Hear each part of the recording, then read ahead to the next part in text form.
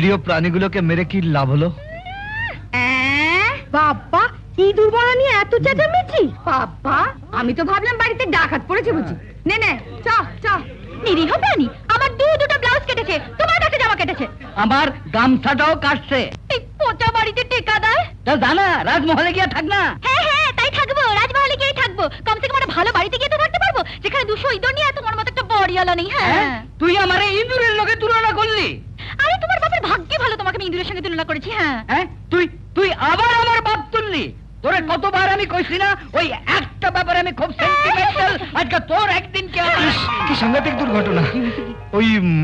লাতুরে ভূমিকম্পে অনেক লোক মারা গেছে।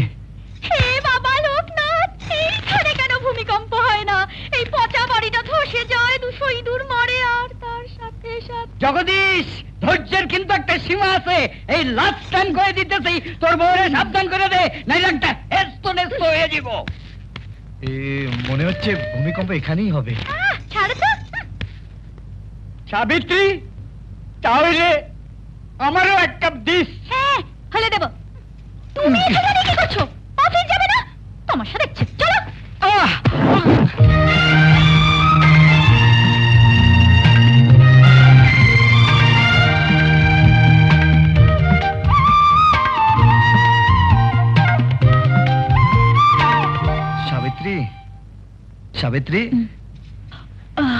তোমার জন্য আমি চা এনেছি। এই মা তুমি চা করে এনেছো? আমায় ডাকলে না কেন? কেন জামিনি না যেতে জাগালে না? বেলা হলো মরিলা যে। আমার লজ্জা করে না বুঝি। খোকনদা কি ভাববে বলো তো? আমি পড়ে পড়ে ঘুমোচ্ছি আর তুমি আমার জন্য চা করে এনেছো। আর খোকনদা কিচ্ছু ভাববে না জানো? যদি আমি তোমার সঙ্গে শুয়ে পড়ি।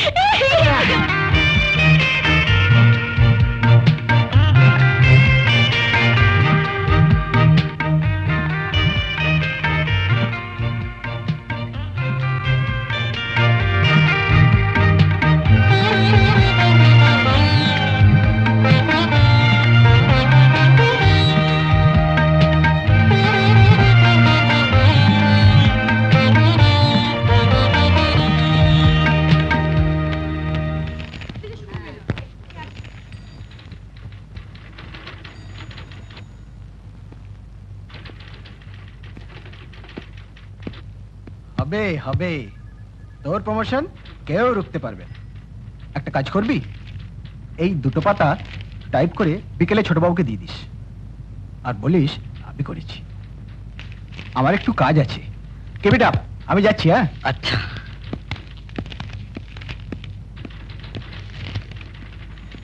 বাবু হুম? চা তো ঠান্ডা হয়ে গেছে? হ্যাঁ একদম ঠান্ডা হয়ে গেছে। আর এক কাপ করে দেবো? না না না তোমার আবার কষ্ট হবে থাক।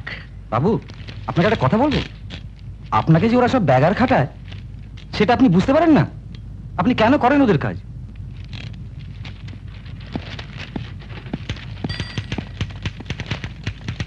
কিরে জগদীশ নাটকের লিস্টে যে তোর নাম দেখলাম। নাটক আমার নাম? হ্যাঁ আমাদের অফিসের অ্যানুয়াল ফাংশনে একটা নাটক হচ্ছে না? তাতে দেখলাম তুই একটা রোল করছিস। না না ওই নাটক ফাটক আমার দ্বারা হবে না। বস কিন্তু তোকেই সিলেক্ট করেছে। আরে ছটা বেজে গেছে। বাড়ি যাবি না? না ওই ভোলাদার দুটো জরুরি ফাইল টাইপ করতে হবে। এই যা আমি আমার ফাইলটাই ভুলে গেছি।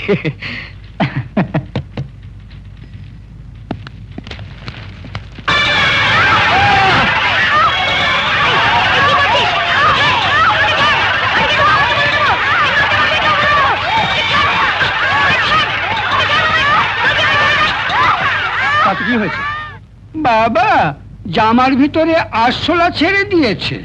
আরশোলা কি তোকে কামড়ে দেবে? ফার্স্ট হয়েছি। ফার্স্ট হয়েছো তাতে কি তুমি আমার মাথাকে নিয়ে গেছো যা ভাগ ভাগ। শুনছো?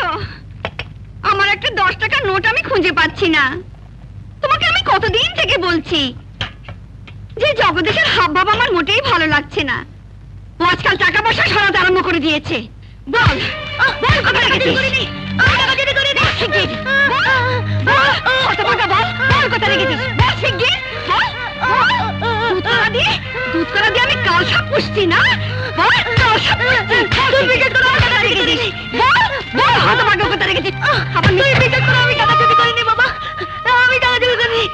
করনি? টাকার কি পাখা গজিয়েছে যে উড়ে যাবে? এক্ষুনি যদি টাকা বার করে না দিস, রাত্রে তোর খাওয়া জুটবে না। ওগো আমার খাবারটা দাও। হ্যাঁ দিচ্ছি।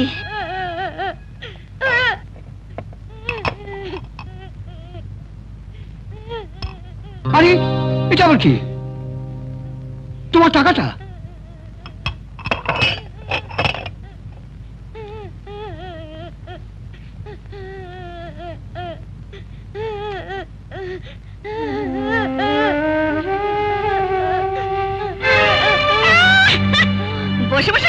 হচ্ছে না? আসান শোয়ার আগে ওই বাসন কোসন ধুয়ে মুছে সব পরিষ্কার করে রাখবি। নইলে তোমার কালো খাওয়া জুটবে না, বুঝেছ? কালো খাওয়া জুটবে না। বজ্জাত কথা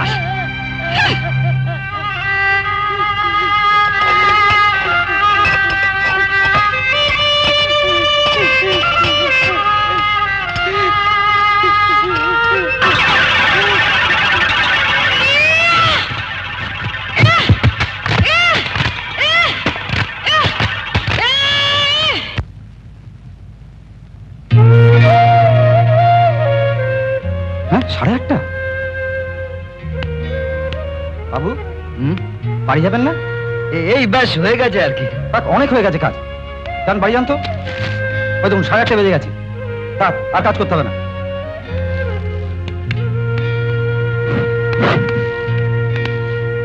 আচ্ছা আসি। আচ্ছা বাবু। এক কিলো চিনি দিও।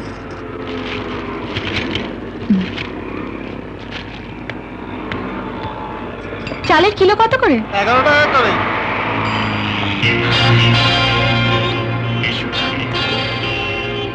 কবি সুকান্ত দ্বীপের সংবর্ধনা সভা। টিকিট এখানে পাওয়া যাচ্ছে। টিকিট এখানে পাওয়া যাচ্ছে? হ্যাঁ আছে আছি। দুটো টিকিটই আছে। এই তো। দিদি আপনার জিনিসগুলো নিয়ে যান। পরে দেবো। দিদি টিকিটের পয়সাগুলো দিয়ে যান দিদি। আরে বাবা সুকান্ত দেবের মতো লোকে দর্শন পাওয়া ভাগ্যের ব্যাপার বুঝলে? এক্ষুনি আমাকে ওকে অফিস থেকে তুলতে হবে। কালকে হবে সব? টাটা।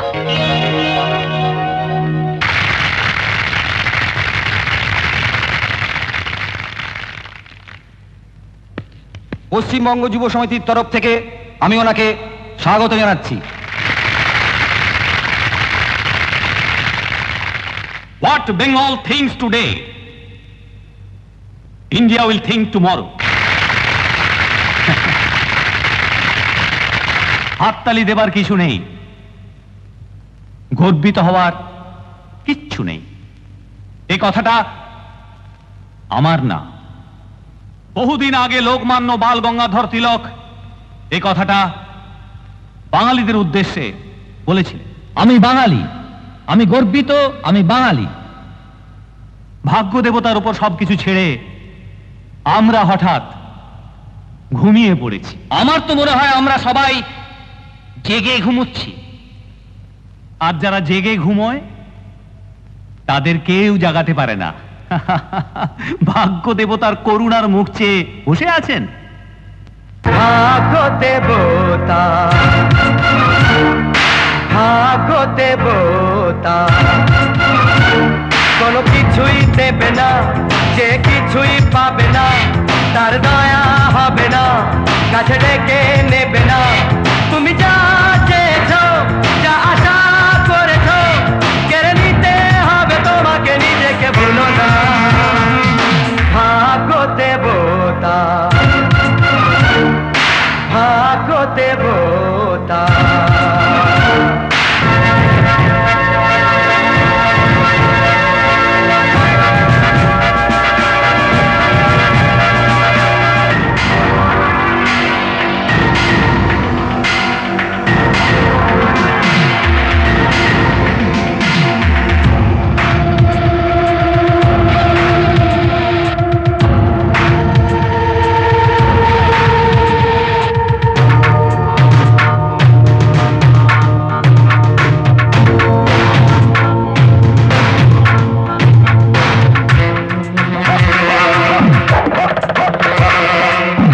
ফেরালো চোখ যে ঘোরালো, তাকে কিছু দিয়ে যাও। তার চেহারা শক্ত দু হাতে ভালো করে বদলাও।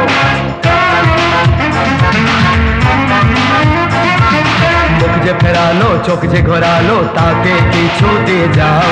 তার চেহারা শক্ত দু হাতে, ভালো করে বদলাও। মায়া জাল ছিঁড়ে দাও, দ্বিধাকে ফেলে দাও। হে, মায়া জাল ছিঁড়ে দাও, দ্বিধাকে ফেলে দাও। তুমি যা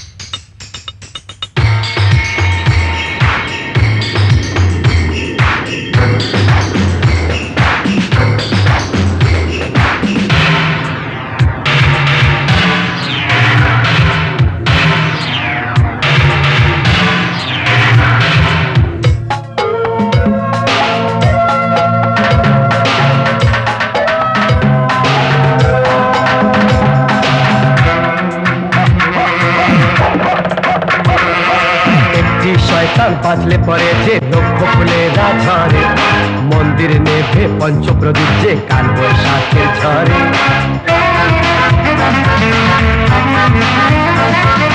একটি শয়তান বাজলে পরে যে লক্ষ ফুলেরা ঝরে। মন্দিরে নেভে পঞ্চপ্রদীপ যে কাল বৈশাখের ঝরে মায়া জাল ছিঁড়ে দাও, দ্বিধাকে ফেলে দাও। মায়া জাল ছিঁড়ে দাও, দ্বিধাকে ফেলে দাও। তুমি যা চেয়েছো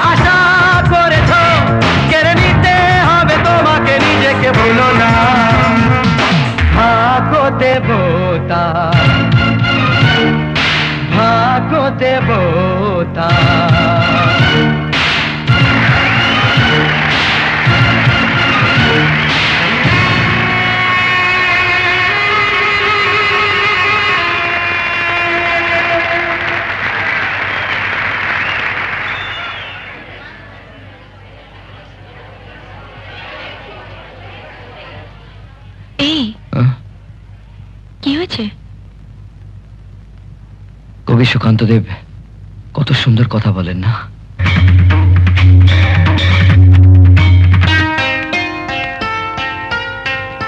হ্যাপি বার্থডে থ্যাঙ্কস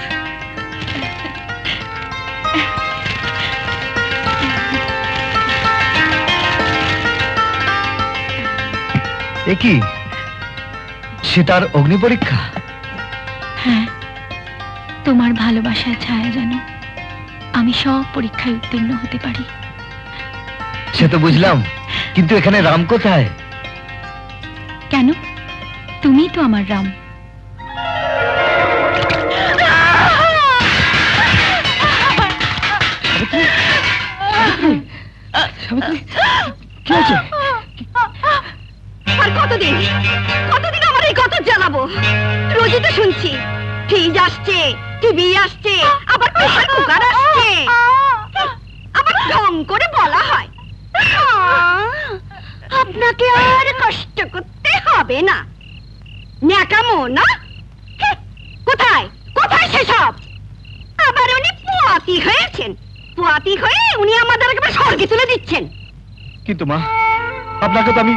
বলেছি।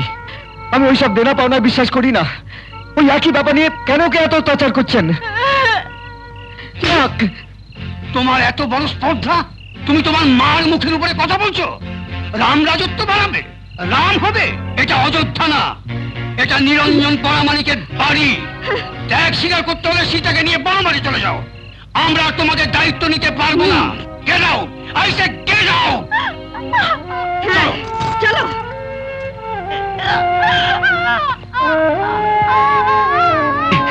Savitri ওটো ওটো কষ্ট করো।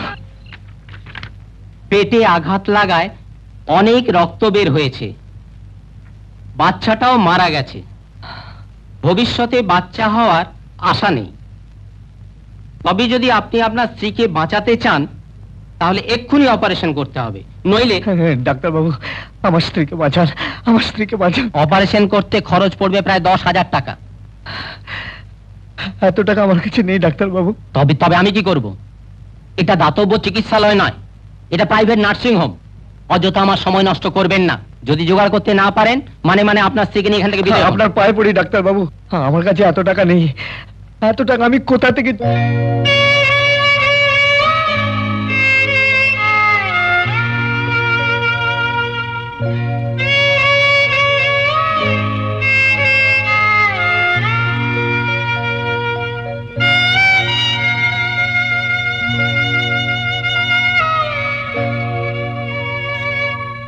আমার স্ত্রীকে বাঁচা আমার স্ত্রীকে বাঁচা গুড মর্নিং ম্যাডাম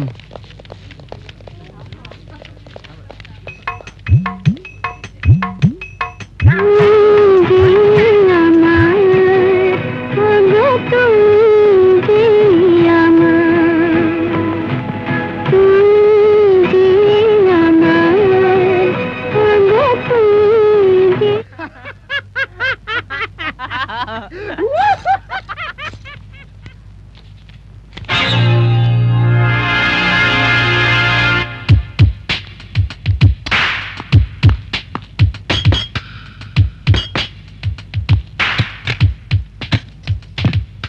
চাই। জগদীশবাবু বাড়িতে আছেন? আপনাকে তো ঠিক চিনলাম না। আমার নাম রঞ্জিত সরকার। আমি জগদীশের সাথে একই অফিসে কাজ করি। উনি তো এইমাত্র বেরোলেন। অফিসে গেছেন। কার লোকে কথা কইতাছ? আরে ওর অফিসের বন্ধু রঞ্জিত বাবু এসছেন। ওর খোঁজে। আরে দেখেছেন? আপনাকে আমি বাইরেই দাঁড় করিয়ে রেখেছি। আসুন আসুন ভেতরে না না অনেক তারা আছে। আজ্ঞাটা ইনভিটেশন কার্ড বিলি করতে হবে। আমার জন্মদিনে একটা গেট টুগেদারের আয়োজন করেছি। সেই ব্যাপারেই নিমন্ত্রণ করে গেলাম। আপনি জগদীশকে নিয়ে অবশ্যই আসবেন। আমি ঠিক কথা দিতে পারছি না। তবে আমি নিশ্চয়ই ওকে বলব। ও না বড় একটা পার্টি টাটিতে যেতে চায় না। আপনাদের আসতেই হবে। ওকে বলবেন আমি নিজে এসে নিমন্ত্রণ করে গেছি। যদিও আপনার সঙ্গে এই প্রথম পরিচয় কিন্তু এর আগে আমি আপনাকে দেখেছি। আমাকে কোথায় দেখেছেন বলুন তো? আচ্ছা আজ আমি চলি। পার্টিতে অবশ্যই দেখা হবে। আপনি আসছেন কিন্তু নমস্কার। শোন এটা কোল্ড ড্রিঙ্কসে মিশিয়ে দিবি। আর আমি যার কাঁধে হাত রাখব তাকে এই গ্লাসটা ধরিয়ে দিবি। বুঝছিস তো? বুঝলাম তো। কিন্তু ব্যাপার কি গুরু? দেখ যে ব্যাটার ছেলে এখানে আসছে সে একদম মদ খায় না। সেই শালাকে সকলের সামনে অপদস্থ করতে হবে। তবেই আমার কাজ সিদ্ধি হবে। নতুন খেলাটা কি গুরু? তামাশা দেখ বাঁদর নাচ নাচিয়ে ছাড়বো।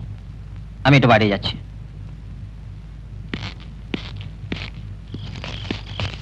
এই যে জগদীশ তুই? আগে আপনাকে তো চিনতে পারলাম না। চিনতে পারলি না? আমি তোদের কলেজের পারমানেন্ট স্টুডেন্ট। আমাকে যেমন ফেয়ারওয়েল পার্টিতেও পাবে তেমনি আবার ওয়েলকাম পার্টিতেও পাবে। দু আমি এক একটা ক্লাসে সাত সাতবার করে পরীক্ষা দিয়ে থাকি। যদি এবার হড়কে না, তবে গিনেস বুক অফ নাম উঠে যাবে। এই যে সাবিত্রী মানে সাবিত্রী দেবী, নমস্কার। তোমায় গুরু মানছি ভাই। আমাদের কলেজের ছেলেমেয়েরা তোমাদের কোথায় কোথায় না দেখেছি? বসন্ত কেবিনের ধারে হেদুয়ার পারে, ভিক্টোরিয়ার পাতাল দেবে, এমনকি কালীঘাটে।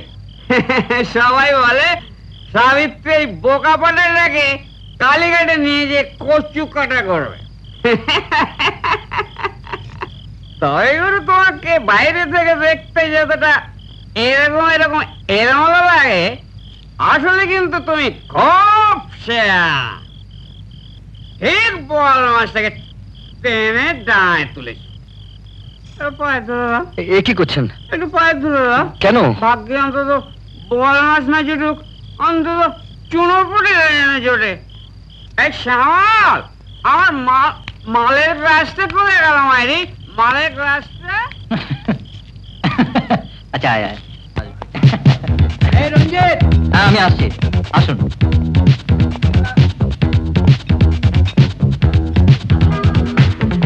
এই নেন। এই নিন ফ্যানটা। ধন্যবাদ। এক মিনিট হ্যাঁ? আমি একটু আসছি। এই শোনো!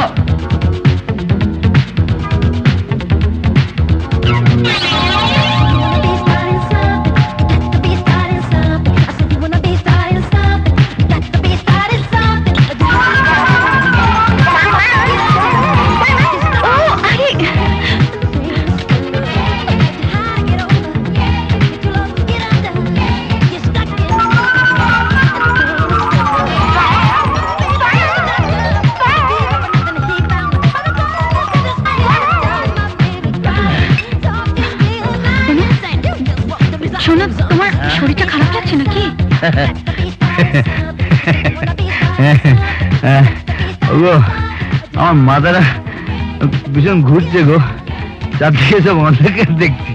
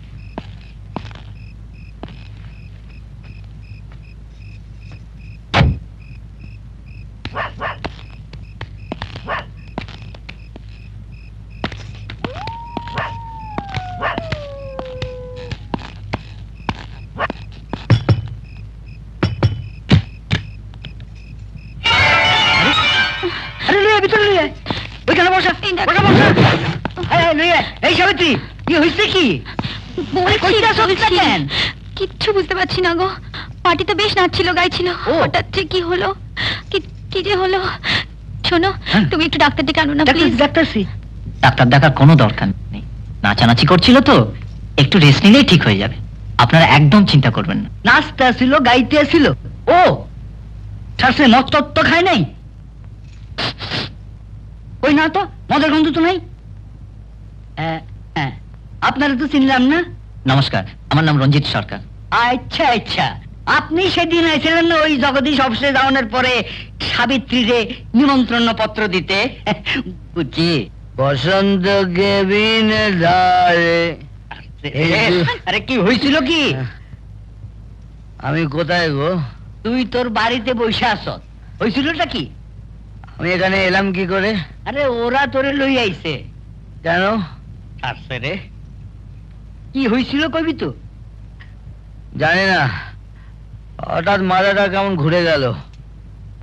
তারপরে কিছু মনে নেই। আপনি থাকেন কই? এই কাছে। আপনার কি মনে হয় না যে রায় তো অনেক হইল? এখন আপনার যাওয়া উচিত। ঠিকই বলেছেন। রাত তো অনেক হলো কাল আবার অফিস আছে। একটু খেয়াল রাখবেন। চিন্তা করেন না আমি আছি সাবিত্রী আছে। Good night. Good night. আচ্ছা সাবিত্রী কত কি হয়েছিল কি করে বলব বলো? আমি জানি না। তবে জানো দাদা, আমাদের এতদিন হলো বিয়ে হয়েছে। আমি আমি ওর এমন রূপ কখনো দেখিনি। তোর? পারবি তো একটা পারবি তো, সাবধানে লয়ে যাইস।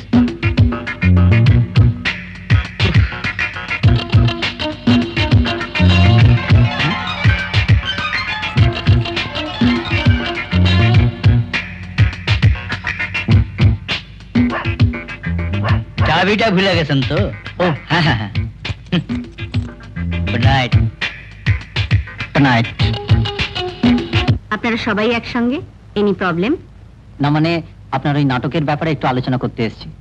আপনি যদি নিজেই জগদীশকে দুঃশাসনের পাঠটা করতে বলেন আমার মনে হয় ও আপনাকে মুখের ওপর না বলতে পারবে না। ঠিক আছে। আপনারা যান আর জগদীশকে পাঠিয়ে দিন। ওকে ম্যাডাম জগদীশ বাবু ম্যাডাম আপনাকে ডাকছেন। কেন? কি ব্যাপার? সব ব্যাপারে যদি জানতাম তাহলে তো আমি ম্যানেজার হয়ে যেতাম। তাড়াতাড়ি যান জরুরি কাজ আছে।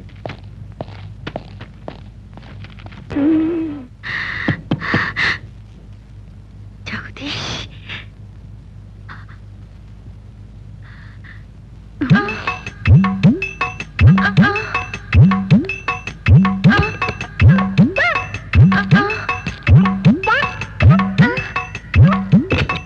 নমস্কার ম্যাডাম আপনি আমায় ডেকেছেন?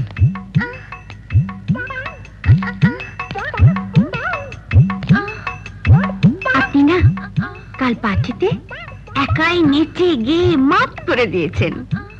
আমি খুব দুঃখিত। আমি নিজেই জানি না আমি কি করেছি। আমার মাথাটা কেমন যেন হয়ে গেছিল। অ্যাকচুয়ালি আপনি আপনি নিজেই জানেন না আপনি নিজে কি। আপনার ভেতরে একটা বিরাট প্রতিভা লুকিয়ে আছে। ইয়েস আপনি আপনি একজন দারুণ দারুণ অভিনেতা হতে পারেন।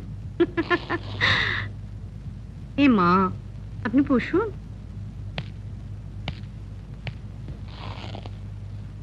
আসলে কি হয়েছে জানেন?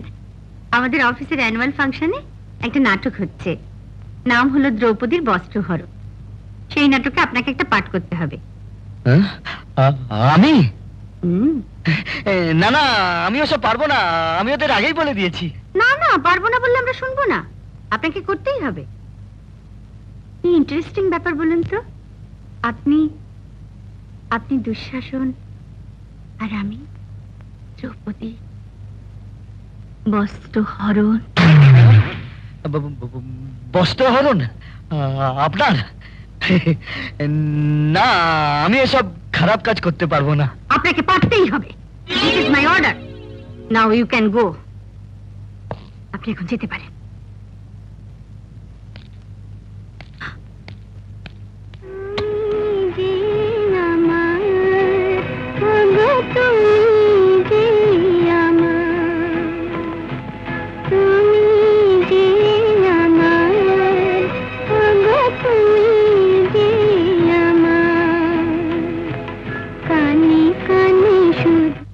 আপনাকে একটা খবর দেওয়ার আছে।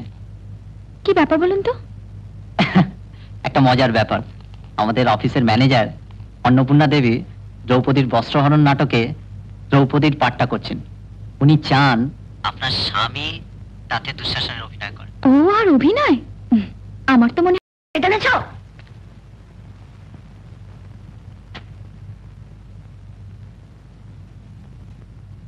বাবা তুমি চকলেট আনো সে কখন থেকে ছেলেটা তোমার জন্য পথ চেয়ে বসে আছে? যে তুমি চকলেট আনবে বলে? আর কথা নেই বার্তা নেই তুমি ঠাস করে একটা চর মেরে দিলে? কতবার তোমাকে বলেছি যে তোমার ওই সমস্ত কারখানা ঝামেলা বাড়িতে বয়ে নিয়ে আসবে না। ঘুষ নাও নইলে পৃথিবী থেকে সরিয়ে দেবে। ধমক। কি হয়েছে একটু খুলে বলবে তো। কি আর বলব? মালিক আমাকে কিনতে চাইছে। আমার সাথী শ্রমিকদের সঙ্গে আমাকে বিশ্বাসঘাতকতা করতে বলছে। কে কি করাতে চাইছে আমি জানি না। তুমি এই সমস্ত ইউনিয়ন বাজি করা ছাড়ো। যবে থেকে ইউনিয়নের প্রেসিডেন্ট হয়েছ তবে থেকে এই সমস্ত ঝামেলা। তুমি বললে আমি চাকরিটাও ছেড়ে দিই। তারপর সবাই মিলে ভিক্ষে করে খেও। দরকার হলে তাই খাব। কিন্তু অশান্তি ভালো লাগে না।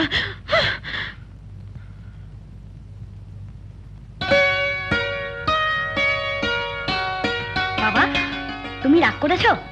আমি আর কোনোদিন চকলেট চাইব না। অন্টু অন্টু আমার মাথাটা ঠিক ছিল না রে। আচ্ছা তুই বল অন্যায় মুখ বুঝে সইব না তার বিরুদ্ধে বিদ্রোহ করব? বিদ্রোহ কি বাবা? অন্যায়ের বিরুদ্ধে প্রতিবাদ করার নাম বিদ্রোহ আর যে করে সে বিদ্রোহী। তাহলে আজ থেকে আমার নাম বিদ্রোহী। আমিও তোমার মতন বড় হলে অন্যায় বিরুদ্ধে প্রতিবাদ করব। পারবি? পারবি তুই? হ্যাঁ পারব। মা আজ থেকে তুমি আমায় মন্টু করে ডাকবে না। আজ থেকে আমার নাম বিদ্রোহী। আমাকে বাঁচান sir. What are saying I can't understand আমি জানি আমার জন্য খারাপ হয়েছে।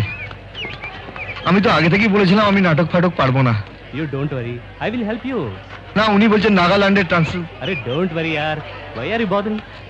পাঁচ টাকা পাঁচ টাকা পাঁচ টাকা যাও নেবেন পাঁচ টাকা পাঁচ টাকা ভালো ছবি পাঁচ টাকা। এগুলো তিন টাকা এটা পয়সা এখানে দাদা ওগুলো চলছে না এটা চলছে। কথা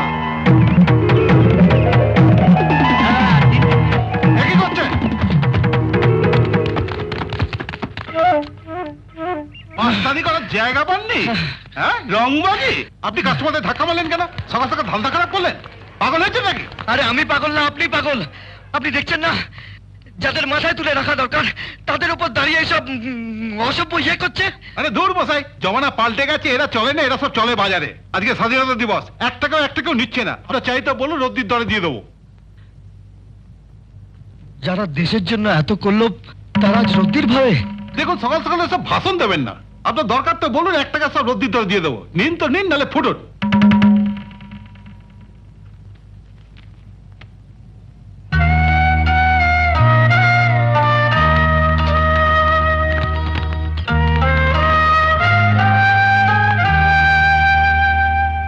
আজকের দিনে এমন লোক হয়? পাগল।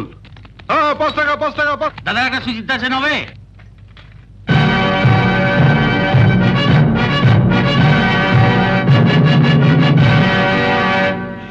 now.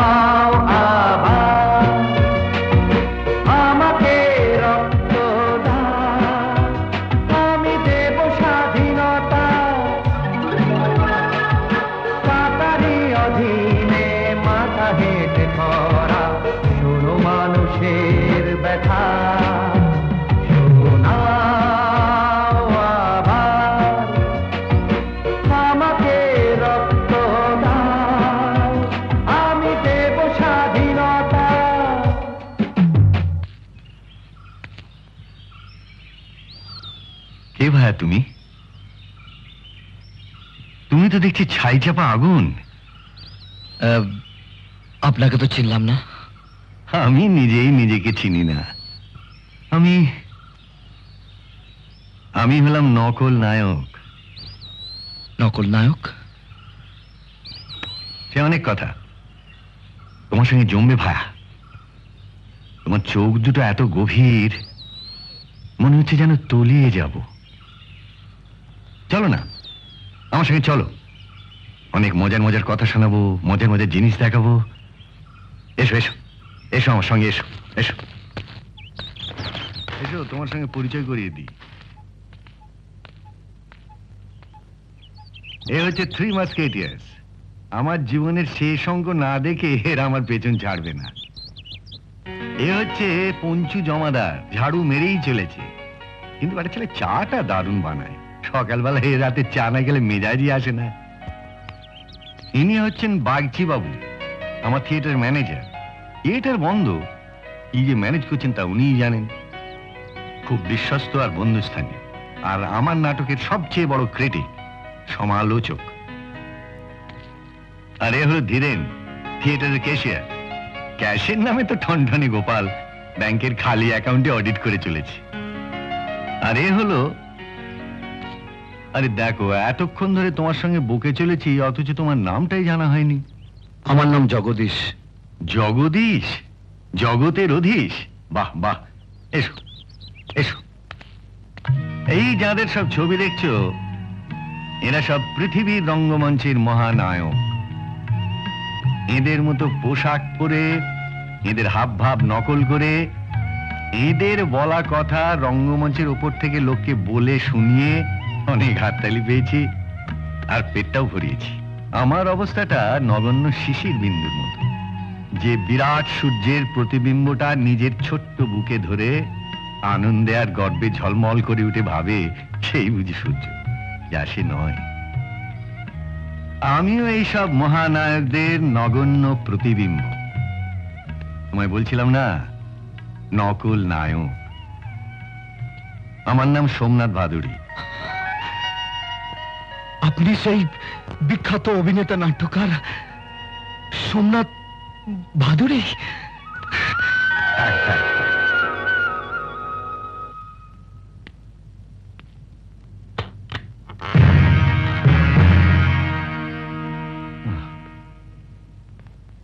এই যে পোশাকটা দেখছ,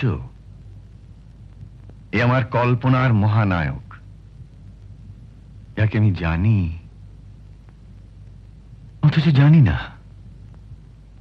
যাকে আমি চিনি তবু চিনি না। তাই এর অচেনা নাম দিয়েছি অ্যালফ্রেড। অ্যালফ্রেড? অ্যালফ্রেড। যে কবিগুরুর অমর বাণী আমার কানে কানে এসে বলে যায়। অন্যায় যে করে আর অন্যায় যে সহে তব ঘৃণা তারে যেন তৃণ সমদহে সেই অ্যালফ্রেড, যে সুপ্ত হয়ে আমার ভেতরে লুকিয়ে আছে, যে বারে বারে বিদ্রোহ করতে চেয়েছে, যে অন্যায় অবিচারের প্রতিবাদ করতে চেয়েছে, যে সত্যের পতাকা কাঁধে নিয়ে উল্কার মতো ছুটে যেতে চেয়েছে, কিন্তু পারেনি। আমার ব্যক্তিগত কাপুরুষতার জন্য প্রকাশ হতে পারেনি। কল্পনাই থেকে গেছে। তাই অ্যালফ্রেড নাটক করে দুধের স্বাদ ঘোলে মিটিয়েছি। নাটকের মাধ্যমে দর্শকদের ভেতরে সুপ্ত অ্যালফ্রেডকে মানে বিবেককে কতটা জাগাতে পেরেছি জানি না, তবে হাততালি পেয়েছি অনেক, আনন্দও পেয়েছি প্রচুর। হঠাৎ তোমাকে দেখে আজ মনে হলো তুমি তুমি আমার সেই জীবন্ত অ্যালফ্রেড। যে অভিনয় আমি করতে চাওয়া সত্ত্বেও জীবন নাট্যে পৃথিবী মঞ্চে করতে পারেনি, পারবে পারবে। তুমি তা পারবে। এসো এসো আমার সঙ্গে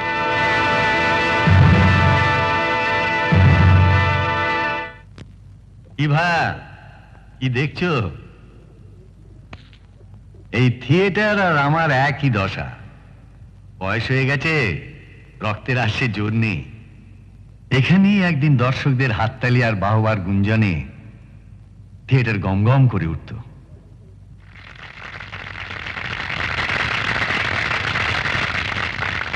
আজ এই নিঃশব্দ গুঞ্জনই আমার একমাত্র সাথী। তাই এই জীর্ণ দশা। বংশে বাতি দেবার কেউ না থাকলে যা হয় আর কি। আমার স্ত্রী অনেকদিন আগেই আমাকে ছেড়ে চলে গেছেন। সহ অভিনেতারা অনেকেই আর ইহ জীবনে নেই। যারা আছে তারাও কোথায় এদিক ওদিক ছিটকে গেছে। আর দর্শকদের রুচিও তো পাল্টে গেছে। তারা আজকাল সব মডার্ন নাটক দেখতে চায়। আমার এই পুরনো নাটক কে দেখতে চাইবে বলো? ওহো! কি যেন গাইছিলে তখন?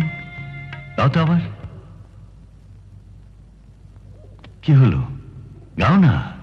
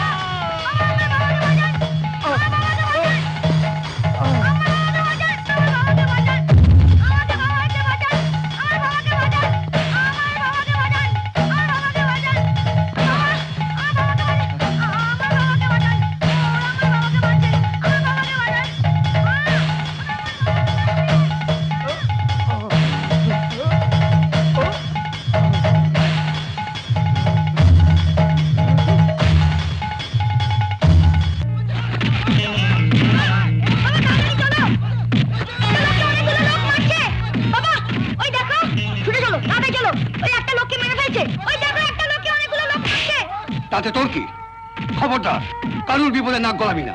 হ্যাঁ? পরোপকার করছে। সমাজ উপকার করলে সমাজ তার কোনো পরিধান দেয় না বুঝে মরছে মরো নিজের ধান্দা কর চল।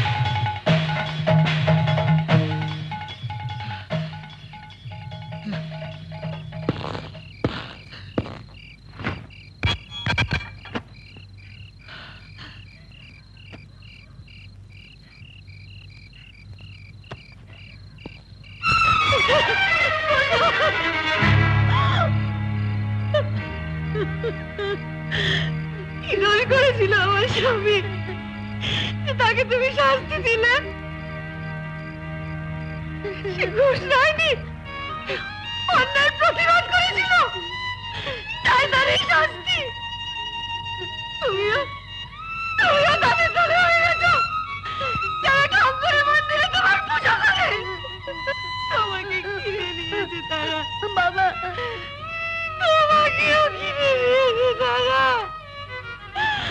আমার কাছে তো কিছু নেই ভগবান আমার কাছে তো কিছু নেই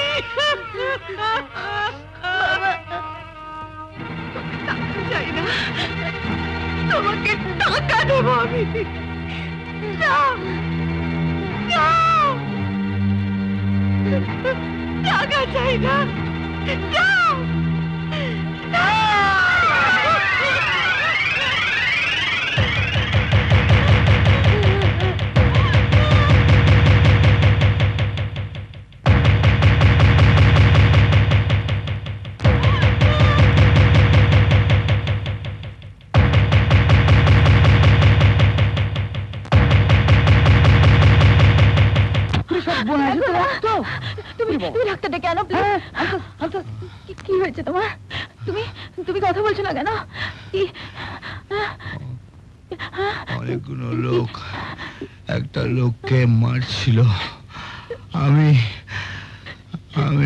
প্রতি প্রতি কি হয়েছে তোমার? কি হয়েছে? কোন চাইয়ে? দাদা আমাকে সোনবাবুর সঙ্গে একটু দেখা করতে দিন। আমার চাকরির ভীষণ দরকার।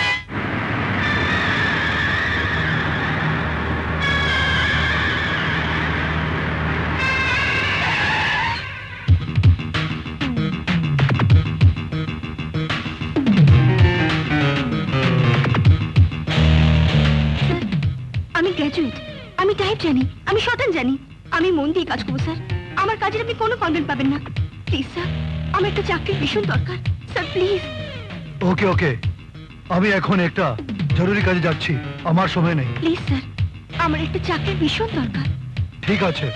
এক কাজ করুন। পার্ক হোটেলে আমার কনফারেন্স আছে নটায়। আপনি সাড়ে আটটায় চলে আসুন। ববিতে দেখা হবে। Take this card of mine give it to the reception they'll put you through thank you sir thank you very much sir see you চলো। আমি প্রতি প্রতি।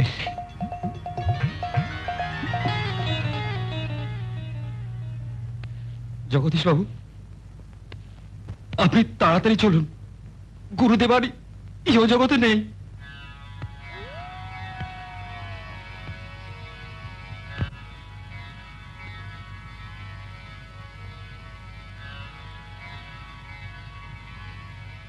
জানেন জগদীশ বাবু, গুরুদেব আমায় প্রায় বলতেন, দেখো বাগচি, জীবনে সবকিছু হতেও পারে, আবার নাও হতে পারে। কিন্তু একটা জিনিস হবেই, সেটা হচ্ছে ডেথ মানে মৃত্যু। নিজেও ভোগেননি, কাউকে ভোগানো নি যাকে, আমি, আপনি আর ধীরেন। তিনটে কাঁধ তো হলো। এখন চতুর্থ পাই থেকে। কেন পঞ্চেদা তো রয়েছে? আমি তো থিয়েটারের ঝাড়ুদার আমি অচ্যুত। আমি কাঁদ দেবো কেমন করে? পঞ্চদা গুরুদেবকে রোজ সকালে কে চা করে দিত? আমি দিতাম। তিনি অচ্ছেদের হাতে চা খেতেন।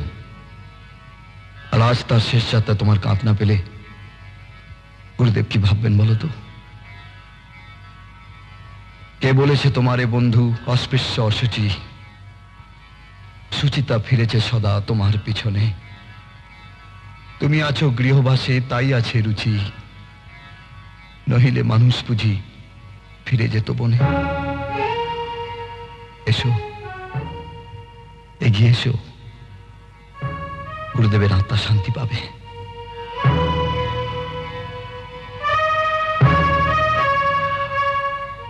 বলো হরি। বলো বলো হরি। বলো হরি। বলো হরি। বলো হরি। বলো হরি। মায়া জাল ছিঁড়ে দাও দ্বিধাকে ফেলে দাও। হে মায়া জাল ছিঁড়ে দাও দ্বিধাকে ফেলে দাও। তুমি যা চেয়েছো, যা আশা করেছ, কেড়ে নিতে হবে তোমাকে, নিজেকে ভুলো না। ভাগ্য দেবতা ভাগ্য দেবতা।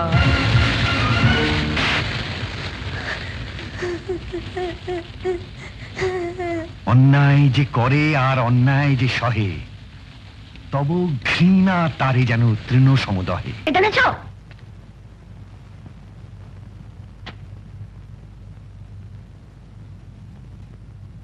বাবা তুমি চকলেট আনোনি সে কখন থেকে ছেলেটা তোমার জন্য পথ চেয়ে বসে আছে যে তুমি চকলেট আনবে বলে? আর কথা নেই বার্তা নেই তুমি ঠাস করে একটা চর মেরে দিলে? কতবার তোমাকে বলেছি যে তোমার ওই সমস্ত কারখানার ঝামেলা বাড়িতে বয়ে নিয়ে আসবে না। ঘুষ নাও নইলে পৃথিবী থেকে সরিয়ে দেবে। ধমক। কি হয়েছে একটু খুলে বলবে তো। কি আর বলব? মালিক আমাকে কিনতে চাইছে। আমার সাথী শ্রমিকদের সঙ্গে আমাকে বিশ্বাসঘাতকতা করতে বলছে। কে কি করাতে চাইছে আমি জানি না। তুমি এই সমস্ত ইউনিয়ন বাজি করা ছাড়ো। যবে থেকে ইউনিয়নের প্রেসিডেন্ট হয়েছ তবে থেকে এই সমস্ত ঝামেলা। তুমি বললে আমি চাকরিটাও ছেড়ে দিই। তারপর সবাই মিলে ভিক্ষে করে খেও। দরকার হলে তাই খাব। কিন্তু অশান্তি ভালো লাগে না।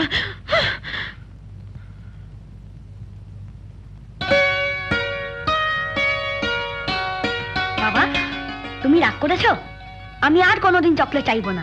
অন্টু অন্টু আমার মাথাটা ঠিক ছিল না রে। আচ্ছা তুই বল। অন্যায় মুখ বুঝে সইব না তার বিরুদ্ধে বিদ্রোহ করব? বিদ্রোহ কি বাবা? অন্যায়ের বিরুদ্ধে প্রতিবাদ করার নাম বিদ্রোহ আর যে করে সে বিদ্রোহী। তাহলে আজ থেকে আমার নাম বিদ্রোহী। আমিও তোমার মতন বড় হলে অন্যায়ের বিরুদ্ধে প্রতিবাদ করব। পারবি? পারবি তুই? হ্যাঁ পারব। মা আজ থেকে তুমি আমায় মন্টু করে ডাকবে না। আজ থেকে আমার নাম বিদ্রোহী। আমাকে বাঁচান sir. What I saying? I cannot understand. আমি জানি আমার জন্য খারাপ হয়েছে আমি তো আগে থেকেই বলেছিলাম আমি নাটক ফাটক পারব না You don't worry. I will help you. না উনি বলছেন নাগাল্যান্ডের ট্রান্সফার আরে don't worry, yaar. Why are you bothering? পাঁচ টাকা পাঁচ টাকা পাঁচ টাকা আপনি নেবেন পাঁচ টাকা পাঁচ টাকা ভালো ছবি পাঁচ টাকা এগুলো তিন টাকা এটা পয়সা কেন দাদা ওগুলো চলছে না এটা চলছে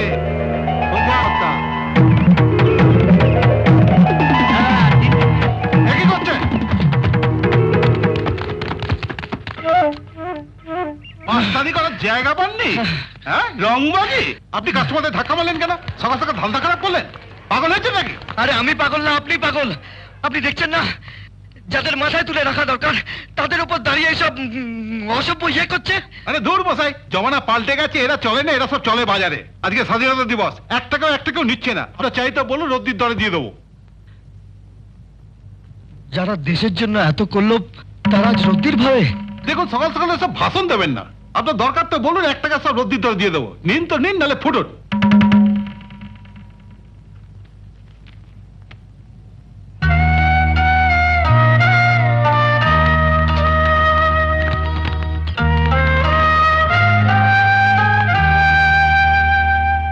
আজকের দিনে এমন লোক হয়? পাগল। হ্যাঁ পাঁচ টাকা পাঁচ টাকা দাদা, একটা সুচিত্রা সেন হবে?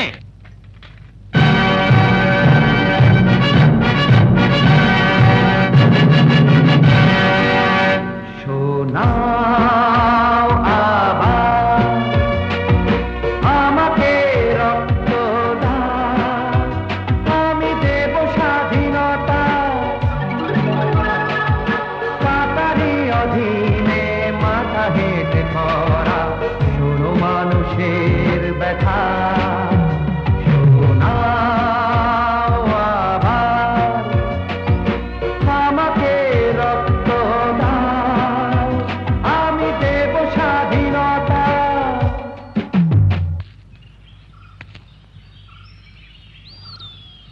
ভাইয়া তুমি?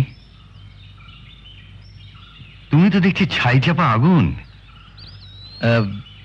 আপনাকে তো চিনলাম না। আমি নিজেই নিজেকে চিনি না। আমি আমি হলাম নকল নায়ক। নকল নায়ক? সে অনেক কথা। তোমার সঙ্গে জমবে ভায়া। তোমার চোখ দুটো এত গভীর মনে হচ্ছে যেন তলিয়ে যাব। চলো না। আমার সঙ্গে চলো। অনেক মজার মজার কথা শোনাবো, মজার মজার জিনিস দেখাবো। এসো এসো। এসো আমার সঙ্গে, এসো এসো। এসো, তোমার সঙ্গে পরিচয় করিয়ে দিই। এ হচ্ছে থ্রি মাস্কেটিয়ার্স আমার জীবনের শেষ অঙ্গ না দেখে এর আমার পেছন ছাড়বে না। এ হচ্ছে পঞ্চু জমাদার, ঝাড়ু মেরেই চলেছে। কিন্তু একটা ছেলে চাটা দারুণ বানায়। সকালবেলা এ রাতে চা না গেলে মেজাজই আসে না। ইনি হচ্ছেন বাগচি বাবু আমার থিয়েটার ম্যানেজার। থিয়েটার বন্ধ, কি যে ম্যানেজ করছেন তা উনিই জানেন। খুব বিশ্বস্ত আর বন্ধুস্থানীয় আর আমার নাটকের সবচেয়ে বড় ক্রিটিক সমালোচক।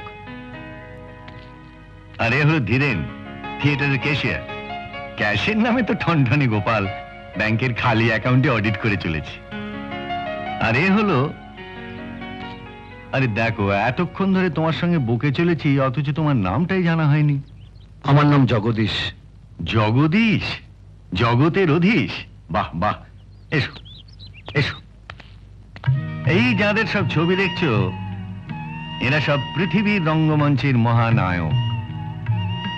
এদের মতো পোশাক পরে এদের হাব ভাব নকল করে এদের বলা কথা রঙ্গমঞ্চের উপর থেকে লোককে বলে শুনিয়ে অনেক হাততালি পেয়েছি আর পেটটাও ভরিয়েছি। আমার অবস্থাটা নগণ্য শিশির বিন্দুর মতো। যে বিরাট সূর্যের প্রতিবিম্বটা নিজের ছোট্ট বুকে ধরে আনন্দে আর গর্বে ঝলমল করে উঠে ভাবে, সেই বুঝি সূর্য, যা সে নয়। আমিও এইসব মহানায়কদের নগণ্য প্রতিবিম্ব। তোমায় বলছিলাম না? নকল নায়ক। আমার নাম সোমনাথ ভাদুরী আপনি সেই বিখ্যাত অভিনেতা নাট্যকার সোমনাথ ভাদুরী।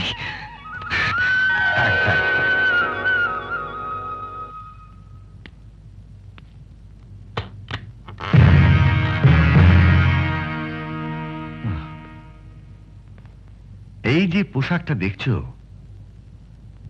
এ আমার কল্পনার মহানায়ক যাকে আমি জানি অথচ জানি না। যাকে আমি চিনি তবু চিনি না। তাই এর অচেনা নাম দিয়েছি অ্যালফ্রেড। অ্যালফ্রেড?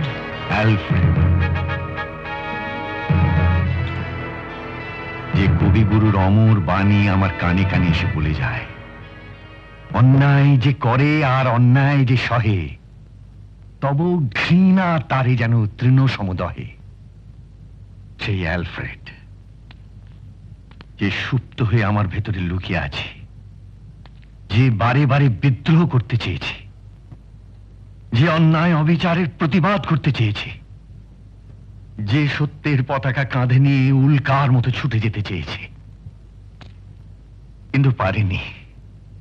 আমার ব্যক্তিগত কাপুরুষতার জন্য প্রকাশ হতে পারেনি।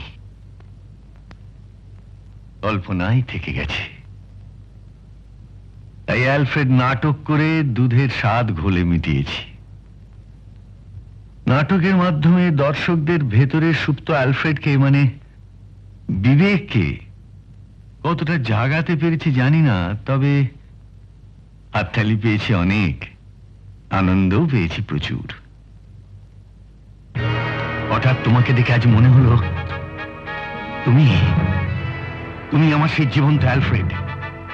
যে অভিনয় আমি করতে চাওয়া সত্ত্বেও জীবন নাট্যে পৃথিবী মঞ্চে করতে পারেনি, পারবে পারবে। তুমি তা পারবে। এসো এসো আমার সঙ্গে।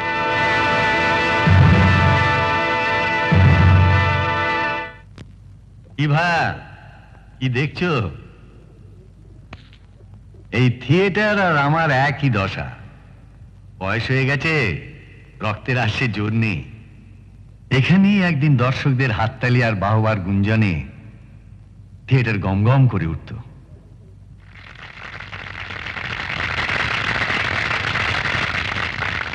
আজ এই নিঃশব্দ গুঞ্জনই আমার একমাত্র সাথী। তাই এই জীর্ণ দশা। বংশে বাতি দেবার কেউ না থাকলে যা হয় আর কি। আমার স্ত্রী অনেকদিন আগেই আমাকে ছেড়ে চলে গেছেন। সহ অভিনেতারা অনেকেই আর ইহজীবনে নেই।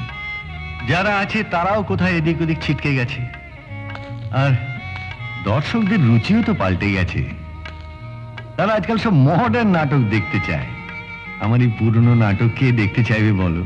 ওহো! কি যেন গাই ছিলে তখন? তাও তো আবার? কি হলো? গাও না।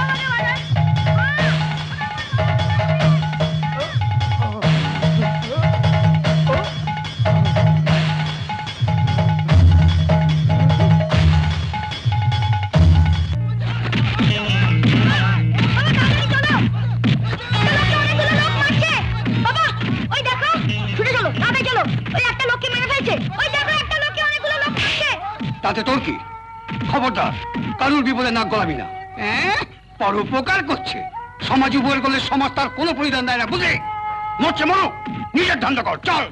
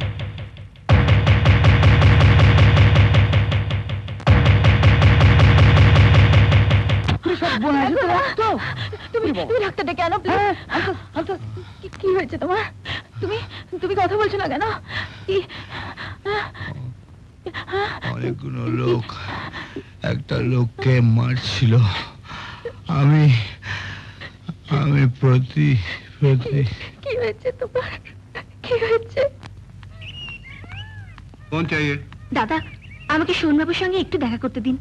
আমার চাকরির ভীষণ দরকার।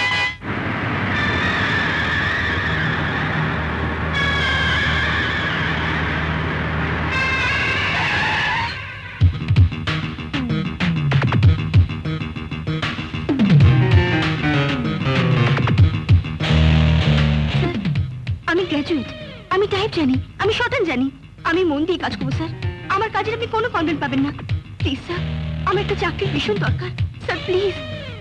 ওকে ওকে। আমি এখন একটা জরুরি কাজে যাচ্ছি। আমার সময় নেই। প্লিজ স্যার আমার একটা চাকরির ভীষণ দরকার। ঠিক আছে। এক কাজ করুন। পার্ক হোটেলে আমার কনফারেন্স আছে নটায়। আপনি সাড়ে আটটায় চলে আসুন। ববিতে দেখা হবে। Take this card of mine give it the reception they'll put you through thank you sir thank you very much sir see you চলো আমি প্রতি প্রতি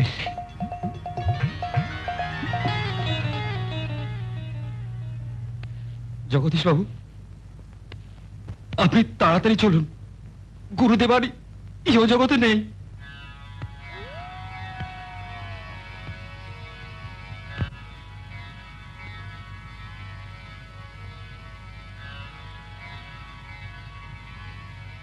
জানেন জগদীশ বাবু গুরুদেব আমায় প্রায় বলতেন দেখো বাগছি জীবনে সবকিছু হতেও পারে আবার নাও হতে পারে।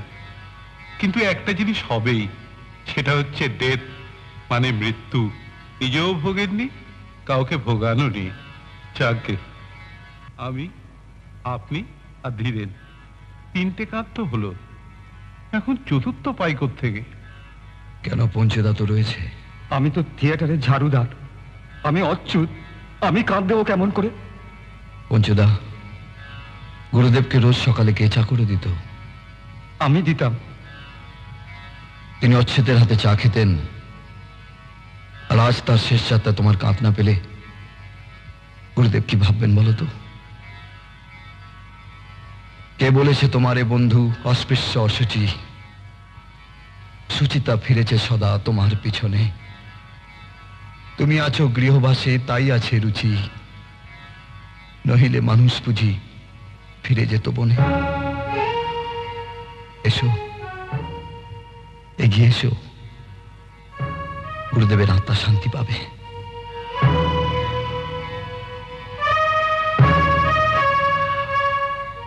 বলো হরি। বলো বলো হরি। বলো হরি। বলো হরি। বলো হরি। বলো হরি। মায়া জাল ছিঁড়ে দাও দ্বিধাকে ফেলে দাও। হে মায়া জাল ছিঁড়ে দাও দ্বিধাকে ফেলে দাও। তুমি যা চেয়েছো, যা আশা করেছ, কেড়ে নিতে হবে তোমাকে, নিজেকে ভুলো না।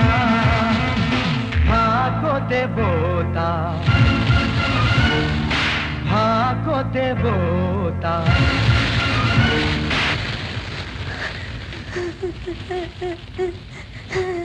অন্যায় যে করে আর অন্যায় যে সহে তব ঘৃণা তারে যেন তৃণ সমদহে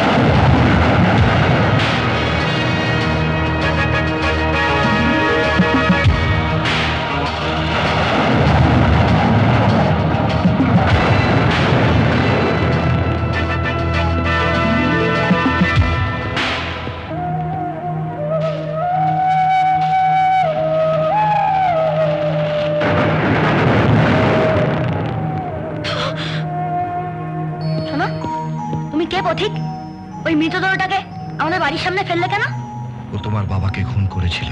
যারা অন্যায় করে তাদের বুঝি তুমি শাস্তি দাও। তোমার নাম কি? আমার নাম বিদ্রোহী বিদ্রোহী বাহ বেশ সুন্দর নাম তো।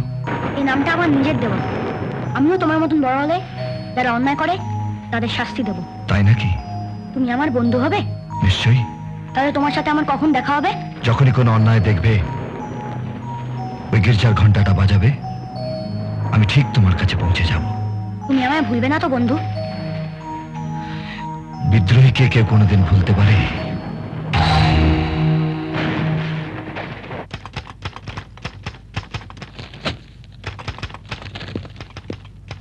আরে জগদীশ এটা একটু টাইপ করে রাখিস তো। আমি হসপিটালে যাচ্ছি। আমার শাশুড়ির শরীর খারাপ। মাইনে পাস না। পাই? হঠাৎ এ প্রশ্ন? আমি উত্তর চেয়েছি। কোম্পানি তোকে মাইনে দেয় কিনা? দেয়? কিসের জন্য দেয়? কাজের জন্য। আজ থেকে নিজের কাজ নিজে করবি। কি?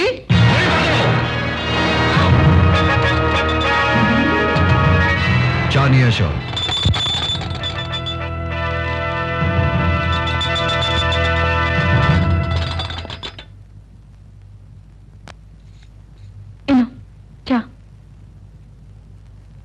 আরে সাবিত্রী দারুণ খবর বুঝলি? ওই হালা মিল মালিকের যে লোকটা খুন করছে তার চেহারার বর্ণনা পাওয়া গেছে। তাই নাকি? ও সোমনাথ ভাদুরীর নাম শুনছস যে আলফ্রেডের চরিত্র কইরা খুব নাম করছিল ওই খুনির চেহারা ওই বুঝলি ওই আলফ্রেডের চেহারার সঙ্গে মিলে গেছে পুলিশ কি করে জানলো? আরে ওই শালা মিল মালিক একটা ভদ্র ঘরের মাইয়ার সতীত্ব হরণ করতে গেছিল। আর ঠিক সেই সময় ওই আলফ্রেডের পোশাক পরা লোকটা বুঝলি সেখানে উপস্থিত উপস্থিত হয়ে মায়াটারে বাঁচাইছে পরে ওই মাইয়াটা পুলিশ স্টেশনে গিয়া ওর চেহারার বর্ণনা দিছে। কিন্তু যাই কর সাবিত্রী আইন যারে কিন্তু নিজের হাতে নেওয়া উচিত হয় নাই। তুই কি কর হ্যাঁ? ওই খুন করা উচিত হয় নাই। ঠিক করেছে। এই সব বদমাইশগুলোকে খুন করাই উচিত। খুন করা উচিত? হ্যাঁ। তাইলে উচিত। আরে তুমি দাঁড়িয়ে আছো কেন? কটা বাজে জানো? অফিস যেতে হবে না? চলো। দারুণ খবর। হ্যাঁ? একটা কথা বলব খোকনদা? বল আজকের সমাজে না ওইরকম অ্যালফ্রেডের মতো লোকেরই দরকার।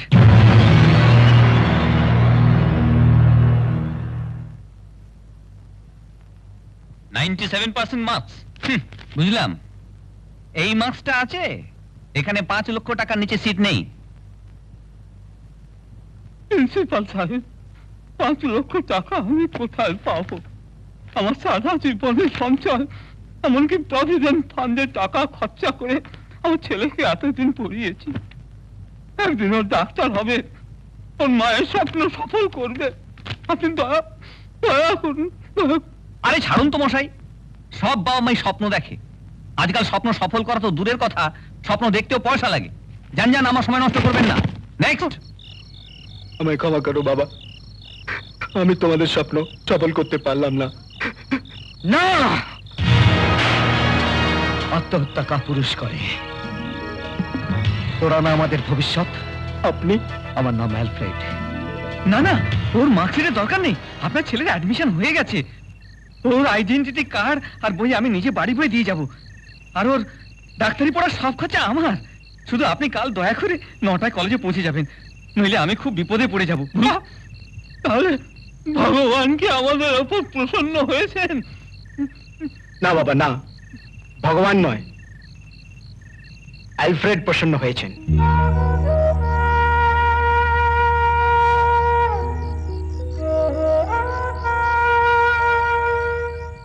আপনাকে কতবার বলতে হবে, এই হসপিটাল দাতব্য চিকিৎসালয় নয়, এটা প্রাইভেট হসপিটাল। এখানে অপারেশন করতে দশ হাজার টাকা লাগে। যদি থাকে, ওই কাউন্টারে গিয়ে জমা করুন। আমার সময় নষ্ট করবেন না। ডাক্তার বাবু আমার কাছে মাত্র এই দু হাজার টাকাই আছে ডাক্তার বাবু আপনি আপনি আমার মেয়েকে বাঁচান ডাক্তার বাবু। আপনার আপনার পায়ে পড়ছি আমি ডাক্তার বাবু। আমার আমার মেয়েকে বাঁচান নাটক বন্ধ করুন। নাটক বন্ধ করুন। যান যান এখান থেকে।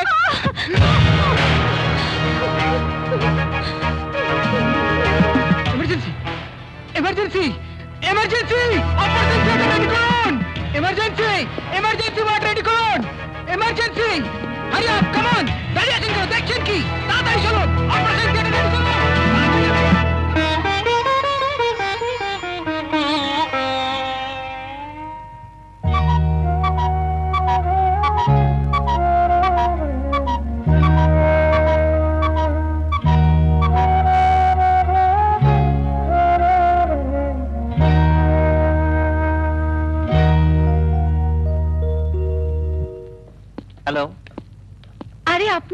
ভারী ব্যাগটা আমায় দিন। না না ঠিক আছে। জগদীশ কোথায়? ও তো বাড়িতে। ওর আপনাকে সাহায্য করা উচিত। না না ও আর কত করবে বলুন? এমনি আমার বাজার টাজার করতে ভালোই লাগে। অফিসে এত কাজের চাপ। সকালে বেরোয় বেরোয় সেই রাতে। চলুন না শরবত খেয়ে আসি সামনের দোকানে। খুব ভালো শরবত করে ওরা। না না দেরি হয়ে যাবে। কিচ্ছু দেরি হবে না। চলুন তো। আপ-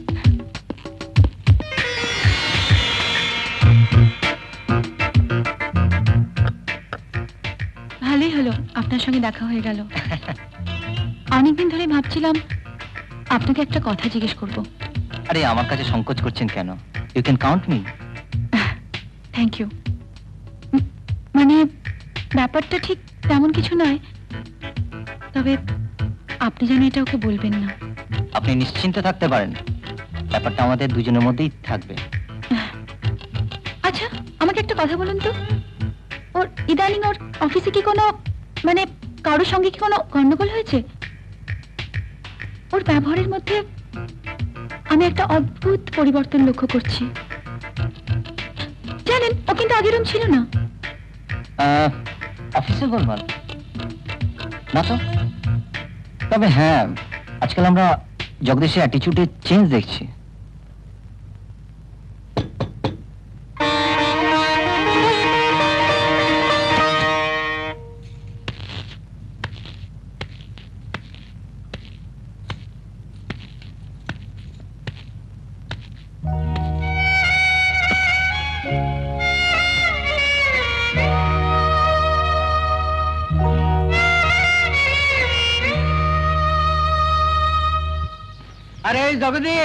কখন আইলি? অনেকক্ষণ।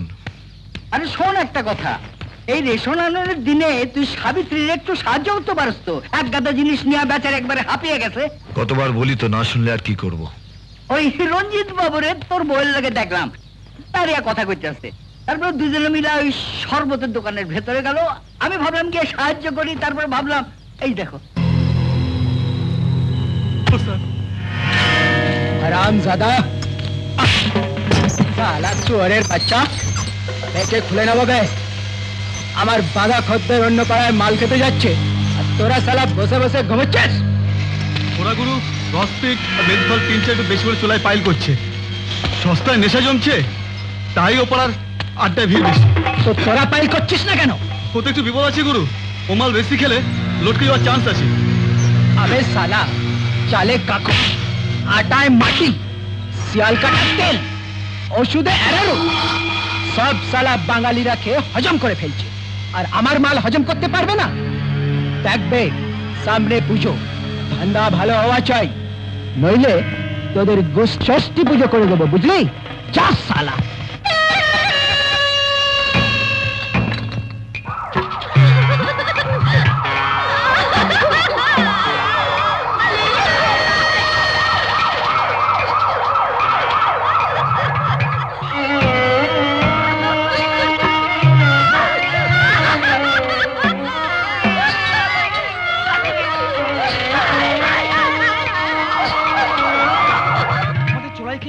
জন গেছে। পুলিশ আমাদের গরু খোঁজা ঘুরছে ধরা পড়লে একবার নিঘাত ফাঁসি। যা হয়েছে, তার জন্য গভর্নমেন্ট আমাকে পদ্মশ্রী দেবে। এত চেষ্টা করেও গভর্নমেন্ট পপুলেশন কমাতে পেরেছে? সেটা আমি করে দিয়েছি।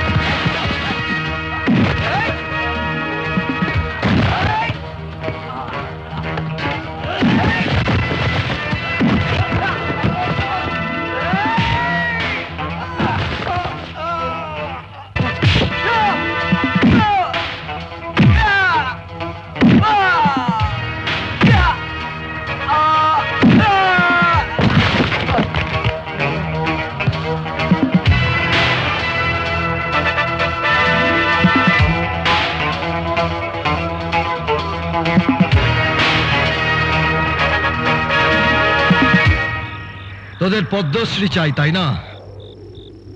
তাই এই মঞ্চ তৈরি করেছি তোদের ভারত রত্ন দেবার জন্য। যে বিষ ছড়িয়ে তোরা তোদের সাম্রাজ্য তৈরি করেছিলিস, নিচের দিকে চেয়ে দেখ, সেই বিষ আজকে তোদের দিকে তাকিয়ে হাসছে। তোদের মতো একটা শয়তান এই সমাজে বাঁচলে পড়ে আমাদের ভবিষ্যৎ প্রজন্মের মৃত্যু। তোরা আমাদের ভবিষ্যৎ কেড়ে নিতে পারিস না।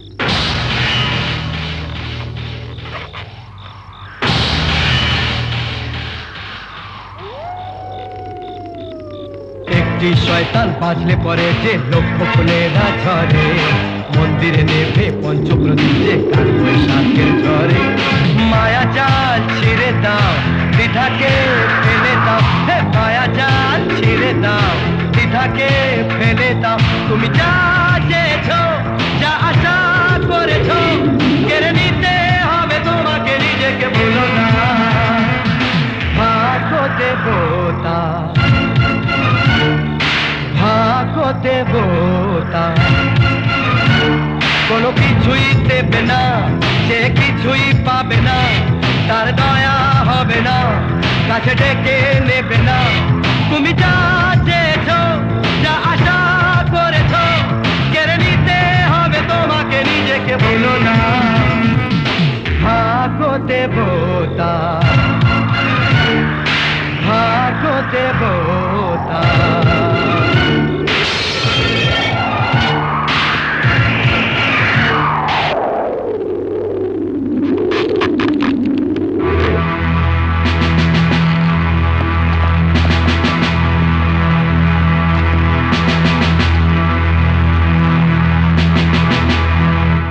আচ্ছা দাদা আপনার অ্যালফ্রেড সম্বন্ধে কি ধারণা? আমি জানি না। দাদা এক মিনিট। বলতে পারবেন আপনার অ্যালফ্রেড সম্বন্ধে কি ধারণা? দেখুন আলফ্রেডের দোষ নিয়ে লোকে কথা বলছে কিন্তু সে তো অনেক ভালো কাজও করেছে। ওই সেগুলোর সম্বন্ধে তো কেউ কিছু বলছে না। তা আপনার আলফ্রেড সম্বন্ধে কি ধারণা?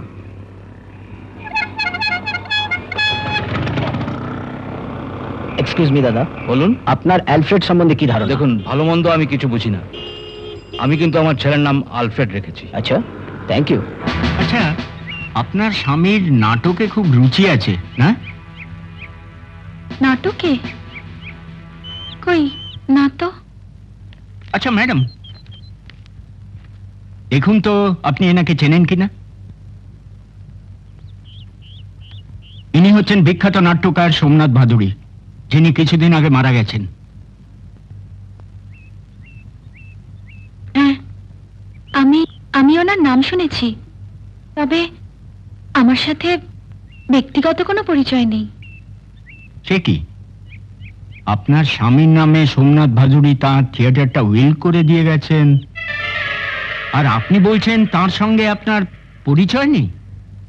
আশ্চর্য? স্ট্রেঞ্জ? সোমনাথ বাবু থিয়েটার বিল করে গেছেন? আমি তো কিছু বুঝতে পারছি না। আপনার স্বামী আপনাকে এ ব্যাপারে কিছুই বলেননি? আপনি বিশ্বাস করুন এ ব্যাপারে আমি কিছুই জানি না। আচ্ছা কি ব্যাপার বলুন তো? একটা খুনের ব্যাপারে। এটা আমাদের একটা রুটিন ইনকোয়ারি আপনার দুশ্চিন্তার কোনো কারণ নেই। চলে।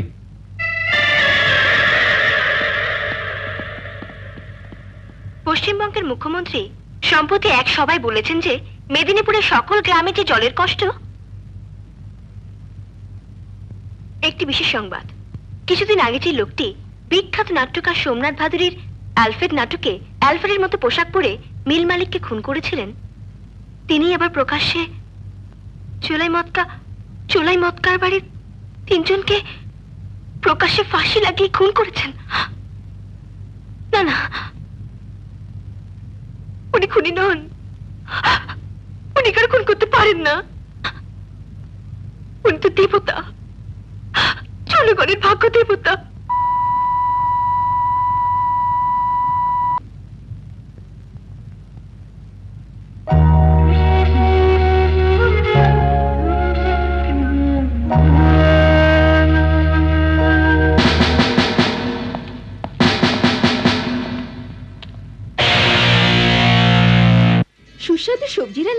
অবশ্যই টেস্টি সবজি মশলা। টেস্টি সবজি মশলা একশো ভাগ প্রাকৃতিক বাকি একশো ভাগ টেস্টির অবদান। খাঁটি দুশো ভাগ। টেস্টি সবজি মশলা।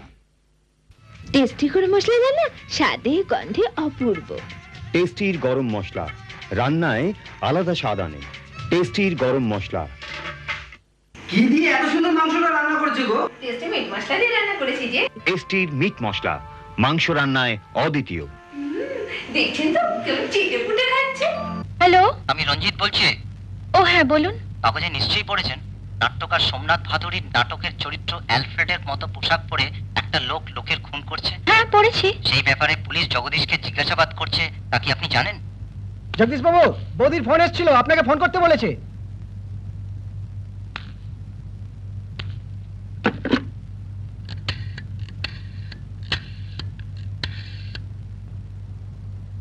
হ্যাঁ জানি।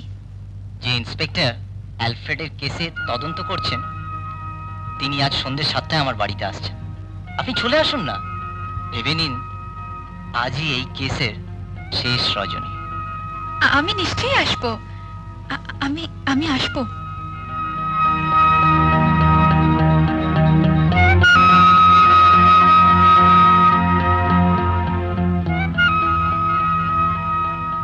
ওই রঞ্জিত বাবুরে তোর বইয়ের লাগে দেখলাম। দাঁড়িয়ে কথা কইতেছে তারপর দুজনে মিলে ওই শরবতের দোকানের ভেতরে গেল। আমি ভাবলাম গিয়ে সাহায্য করি তারপর ভাবলাম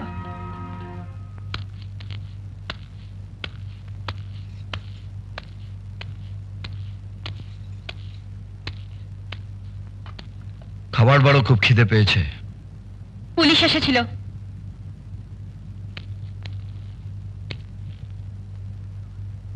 বললাম না খাবার বড় খিদে পেয়েছে। এটা কি আমার কথার জবাব হলো? সব সময় সব কথা জবাব দেয়া যায় না। পুলিশ তোমার খোঁজ করছে কেন? সেটা পুলিশকে গিয়ে জিজ্ঞাসা করো। এত বড় একটা ঘটনা ঘটে গেল আর তুমি আমাকে প্রয়োজন মনে করো না জানাবার? ইরে সেই আলফ্রেডের অভিনয় করতো সোমনাথ ভাদুরী সে নাকি তার থিয়েটারটা তোর নামে উইল করে গেছে? হ্যাঁ তাতে কি হয়েছে? সেই ব্যাপারে পুলিশ তদন্ত করতে আসছে তোর খোঁজ করতে আসছে আর তুই কইতে আসছে তাতে হয়েছে কি? অদ্ভুত ব্যাপার।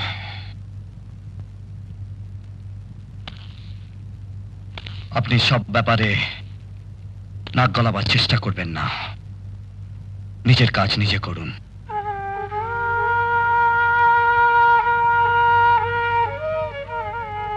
ঠিক কইছ। সব ব্যাপারে আমি কেন নাক গলাইতে যাব? তোর আমার কে? রাগ করলে আমি কিন্তু ওভাবে তোমায় বলিনি। হ্যাঁ সোমনাথ ভাদুরী ওনার থিয়েটারটা আমার নামে উইল করে গিয়েছিলেন। আমি সরকারকে ওটা দান করে দিয়েছি।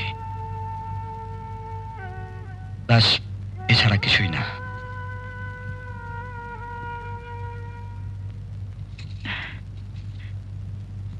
খাবার গরম করছি। হাত মুখ ধুয়ে নাও। আমার খিদে নেই। এই তো বললে খিদে পেয়েছে। খিদে নেই।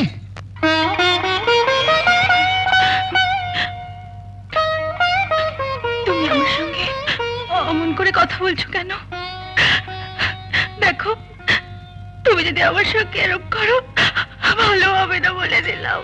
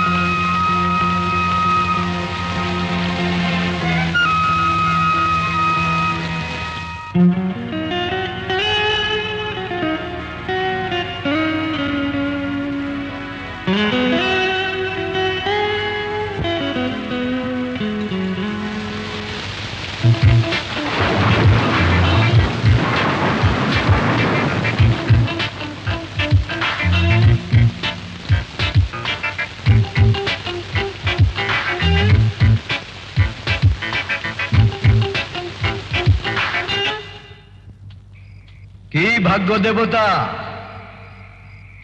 অন্যের ভাগ্য বিচার করো। আর আজ ভাগ্য তোমার দরজায় আঘাত করেছে তাই মুখ লুকিয়ে পালিয়ে যাচ্ছ? না পালাইনি। ভাগ্যের তলাজুতে সবার বিচার সমান। হ্যাঁ, তাহলে বিচার করো। সাবিত্রী দেবী তো সমাজের কুলটা। স্বামীর কাছে সতী সাবিত্রী। আর নিজের দৈহিক বাসনা পূর্ণ করতে তিনি এখন মনের মানুষ রেখেছেন। সাবিত্রী শুধু সাবিত্রী নামেরই নয় সমস্ত নারী জাতির কলঙ্ক। ওই সমাজে থাকতে পারে না। অ্যালফ্রেড ওর বিচার করবেই। সাবিত্রীর মৃত্যু অনিবার্য। হ্যালো? উটির টিকিট কেটেছি। কাল সকালের ট্রেন। জিনিসপত্র সব গুছিয়ে রেখো। মানে কথা নেই বার্তা নেই হঠাৎ উঠি। ভাবলাম, বিয়ের পর সাত বছর তোমাকে কোথাও বাইরে নিয়ে বেরোয়নি। তারপর তুমি তো সব সময় বলতে, ছুটি কাটাতে হলে উঠি। তাই উঠি।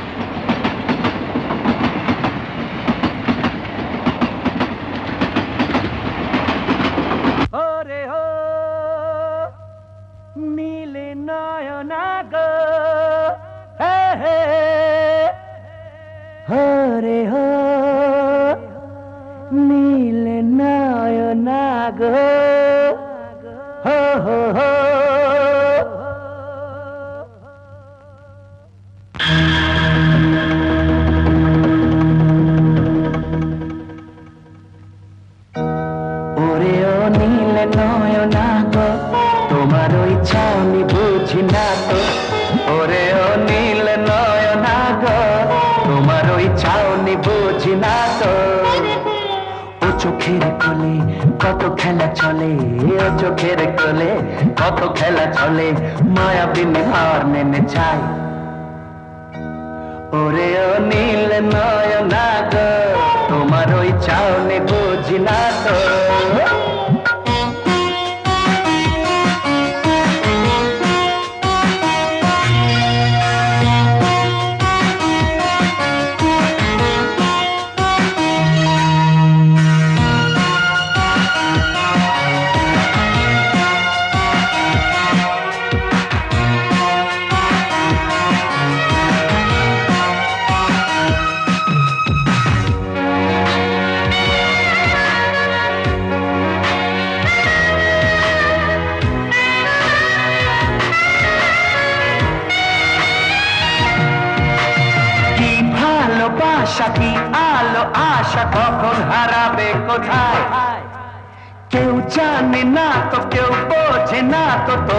ভালোবেসে যায়। কি ভালোবাসা, কি আলো আশা কখন হারাবে কোথায়? কেউ জানে না তো, কেউ বোঝে না তো, তবু ভালোবেসে যায়।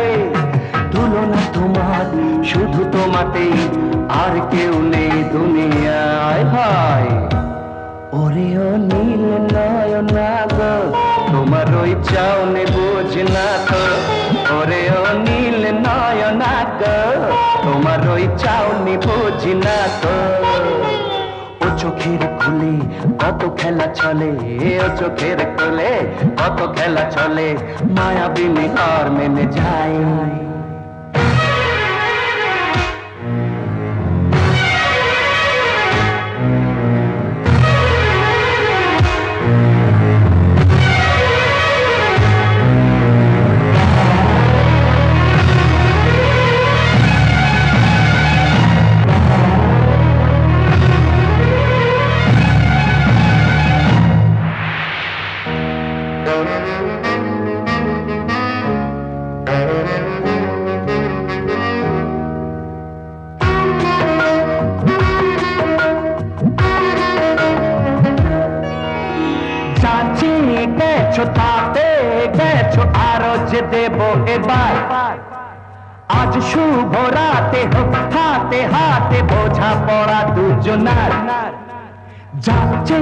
গেছো তাতে গেছো আরও যে দেব এবার। আজ শুভ রাতে হোক, হাতে হাতে বোঝা পড়া দুজনার। পুরানো হিসাব জমা খরচের পুরানো খাতার পাতায়।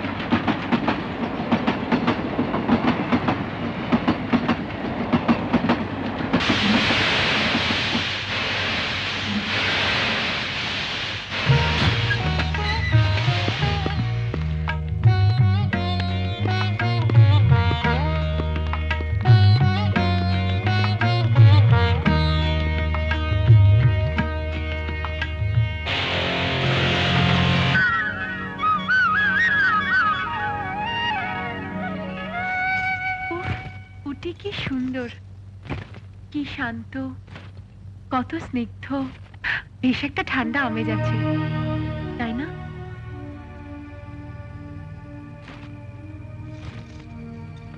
কি গো কিছু বলছো না যে? শুনছি। এই একটা কথা বলব?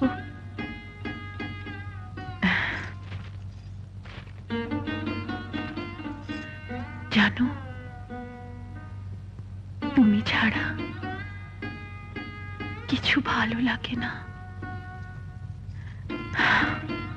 তুমি আছো বলে সব কিছু ভালো লাগছে।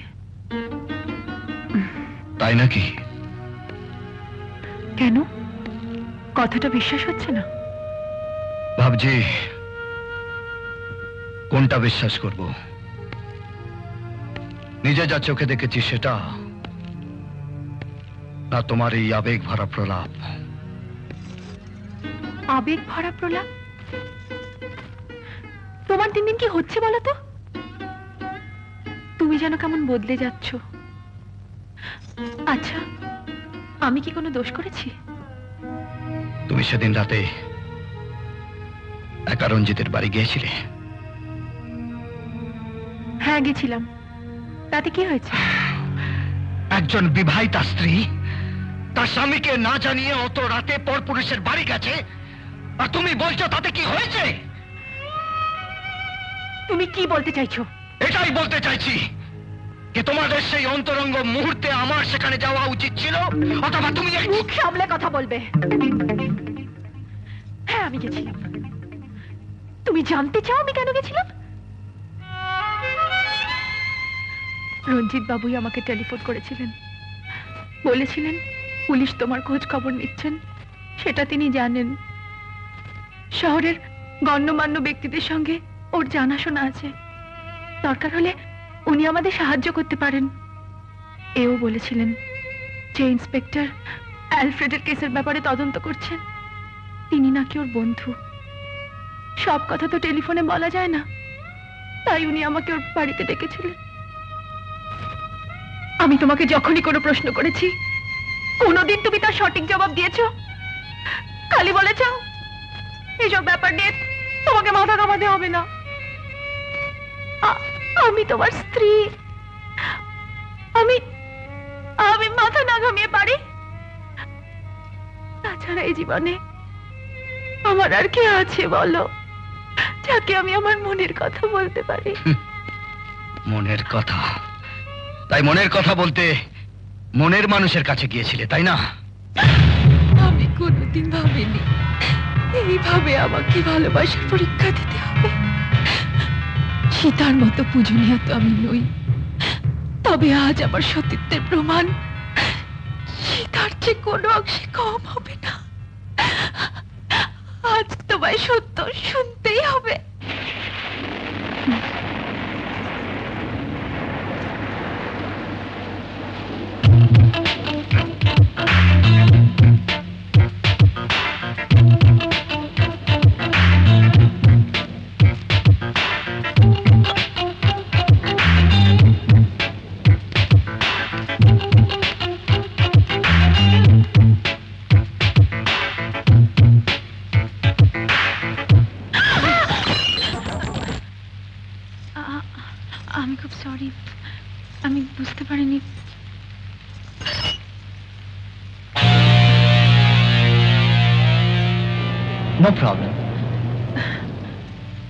আপনি বলেছিলেন আপনার কোন ইন্সপেক্টর বন্ধু আসবে।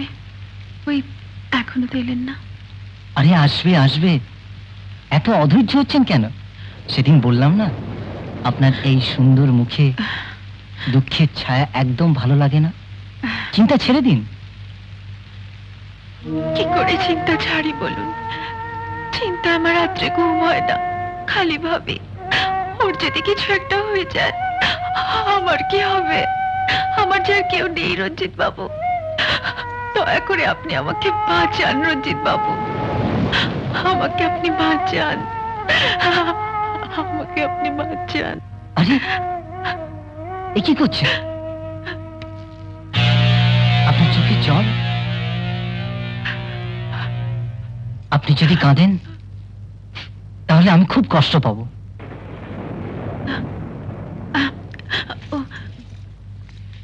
ও, বৃষ্টিও থেমে গেছে। আজ আমি আসি রঞ্জিত বাবু একটু অপেক্ষা করুন না। ও এক্ষুনি এসে যাবে। না আজ এমনিতেই অনেক দেরি হয়ে গেছে। আর তাছাড়া এই প্রথমবার ওকে না বলে এসেছি। আপনাকে অনেক ধন্যবাদ রঞ্জিত বাবু আমি আপনাকে পরে যোগাযোগ করে নেব। আসি।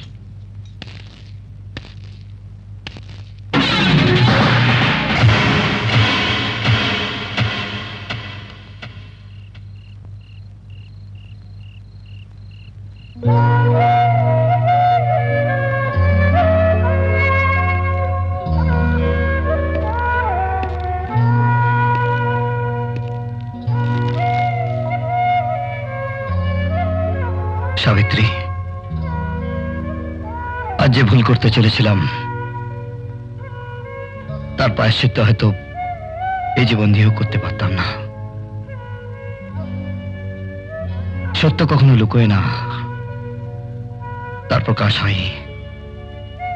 শুধু কখনো কখনো বেশি সময় নেয়। আজ তোমার কাছে নিজেকে খুব ছোট মনে হচ্ছে। তাই বিবেক বারবার একটাই প্রশ্ন করে চলেছে। যার জবাব আমাকে তোমায় দিতেই হবে। কারণ তুমি আমার স্ত্রী, আমার অর্ধাঙ্গিনী। ইদানিং তুমি আমায় কিছু প্রশ্ন করেছ। সোমনাথ ভাদুরী আর আমার সম্পর্কটা কি? পুলিশ কেন আমায় খুঁজছে? অ্যালফ্রেড কি? অ্যালফ্রেড আর কেউ নয়। সমাজের চোখে সেই ভীরু কাপুরুষ সংশয় চিত্ত জগদীশ পারা মানে কি? আজকের অ্যালফ্রেড আলফ্রেড তুমি আলফ্রেড? এতে অবাক হবার কিছু নেই। সব মানুষের মধ্যেই অ্যালফ্রেড সুপ্তভাবে লুকিয়ে আছে। মানুষের সত্তা, মানুষের বিবেক, মানুষের নৈতিক বিচারকের কাল্পনিক নামই অ্যালফ্রেড যা গুরুদেব তার নাটকের চরিত্রকে দিয়েছিলেন। দেখো আমি বুঝলাম। অ্যালফ্রেড একজন আদর্শময় চরিত্র যা তোমার গুরুজি নাটকের জন্য সৃষ্টি করে গেছেন। কিন্তু কিন্তু তুমি সত্যি সত্যি অ্যালফ্রেড হয়ে মানুষ খুন করতে পারো না। পাপ আর পাপীকে সংহার করা যদি খুন হয় তবে ভগবান শ্রীরাম ও রাবণকে খুন করেছিলেন। তিনি তো ভগবান। সব মানুষের মধ্যেই ভগবান আছেন। জানি। ভগবানকে পুজো করা যায় তাকে শ্রদ্ধা করা যায় তাকে প্রার্থনা করা যায়। কিন্তু কিন্তু স্বামীর মতো পূর্ণভাবে তাকে পাওয়া যায় না। দেখো আমি একজন অতি সাধারণ বাঙালি মেয়ে। আমি অত সব বড় বড় কথা বুঝি না। আমি ভগবানের মতো স্বামী পেতে চাই, যাকে ভালোবাসতে পারব, সেবা করতে পারব, যাকে আমি পূর্ণভাবে পেতে পারব। শোনো, তুমি আরও সব কাজ করো না গো। আমি আমি তোমার দুটো পায়ে পড়ছি গো।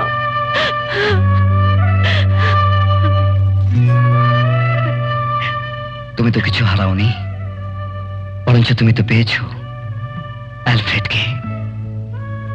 অসহায় নির্যাতিত মানুষের করুণ আর্তনাদ শুনে যা নরসিংহ বারবার হুঙ্কার দিয়ে জেগে ওঠে সেই অ্যালফ্রেডকে। একটা কথা বলব? তুমি ছাড়া ভালো লাগে না।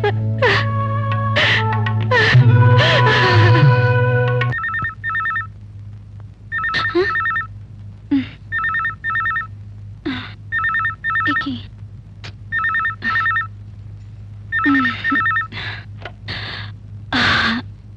হ্যালো হ্যাপি বার্থডে তুমি? রেখেছো আমি একদম ভুলে গেছিলাম। তুমি আমাকে একলা ফেলে রেখে চলে গেছো কেন? আমি ভীষণ ঘাবড়ে গেছিলাম। তুমি কোত্থেকে বলছো? বাজার থেকে। তোমার জন্য ফুল আর কেক কিনেছি।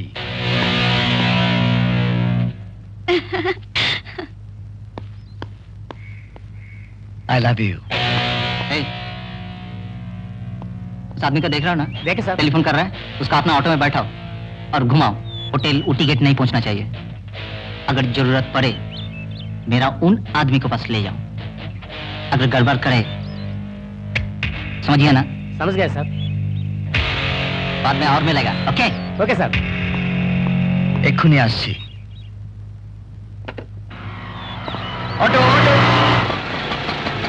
হোটেল উঠি গেট চললাম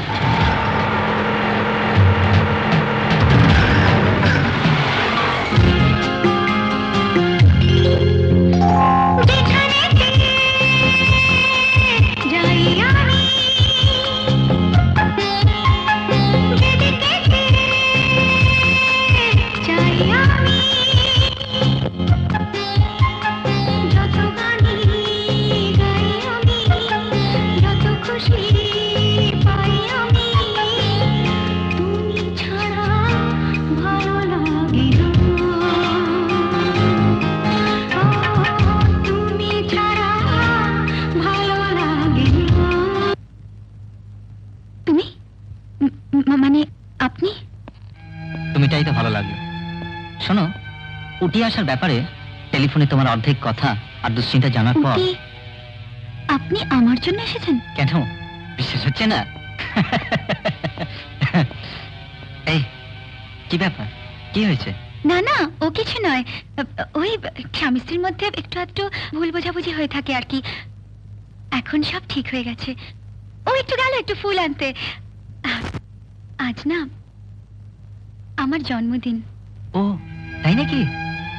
আগে জানা থাকলে উপহার নিয়ে আসতাম better late than never many many happy returns of the day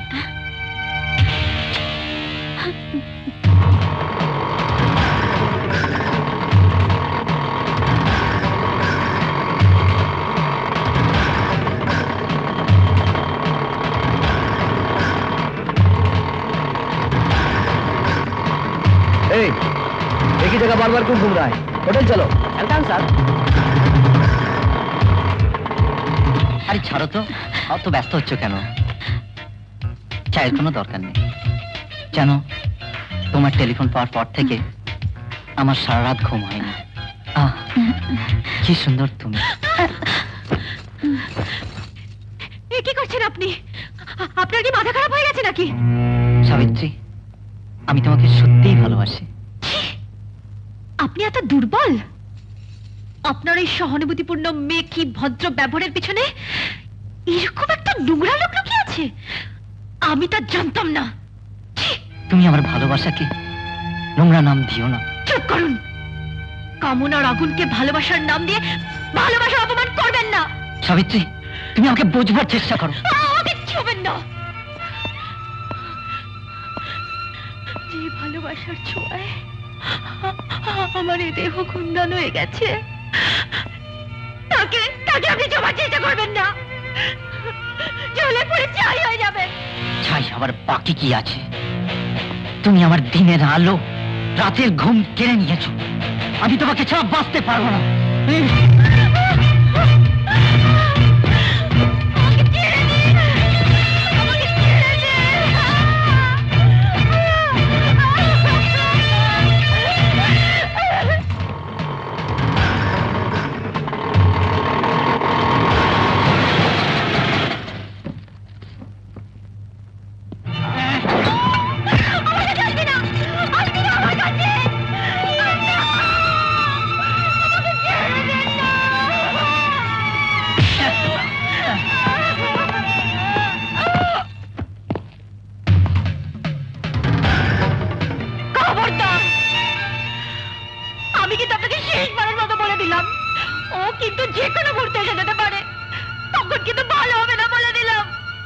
ব্যবস্থা আমি করে এসেছি।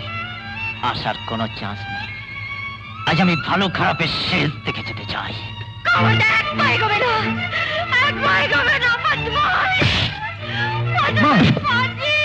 মা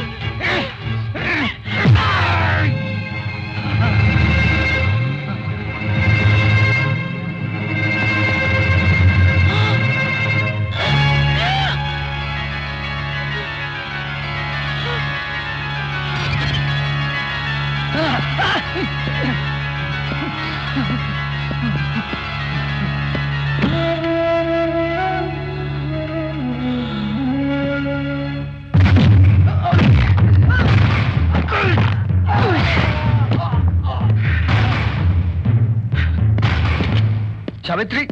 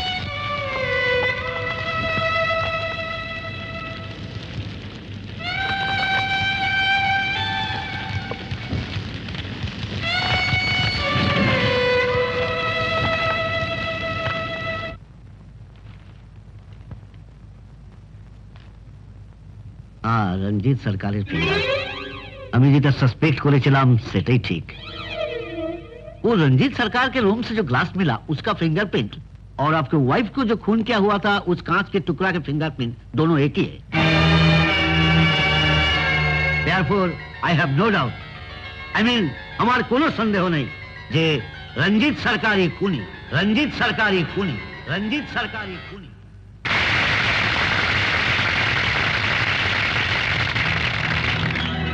বন্ধুগণ, আজ স্বর্গীয় সোমনাথ ভাদুরীর জন্মদিবস উপলক্ষে নাট্যোৎসবের শেষ রজনী। আজ যে নাটক আপনারা দেখবেন, তার নাম অ্যালফ্রেড। স্বর্গীয় নাট্যকার, অভিনেতা সোমনাথ ভাদুরীর অমর কীর্তি, অ্যালফ্রেড একটি কাল্পনিক চরিত্র। না! না! অ্যালফ্রেড কোনো কাল্পনিক চরিত্র নয়। অ্যালফ্রেড সমস্ত মানুষের মধ্যে সুপ্তভাবে লুকিয়ে আছে। শুধু প্রকাশের অপেক্ষায়। অ্যালফ্রেড চেতনা। অ্যালফ্রেড বিবেক। অ্যালফ্রেড আজকের সমাজের অন্যায় অবিচারের বিচারক। একই পোশাকে দুজনকে দেখে হয়তো আপনারা আচম্বিত হয়ে গেছেন। আচম্বিত হবার কিছুই নেই।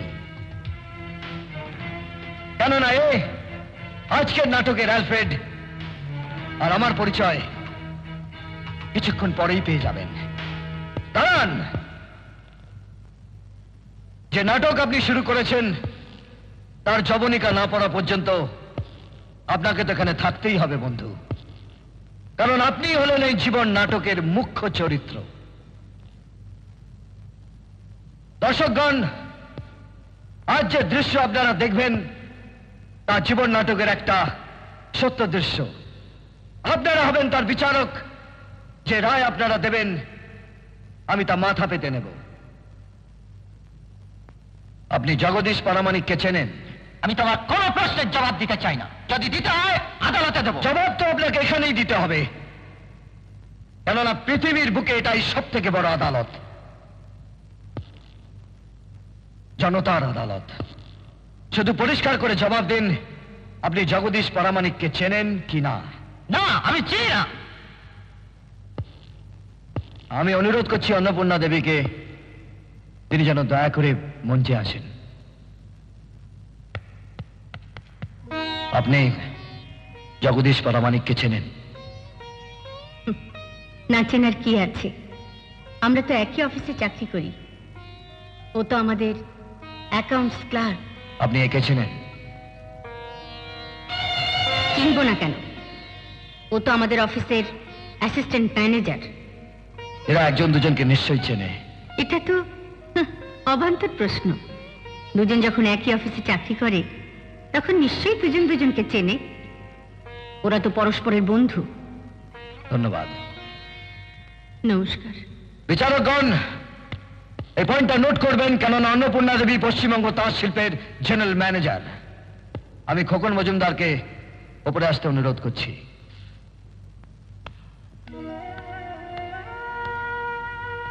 আপনি আমাকে চেনেন। না।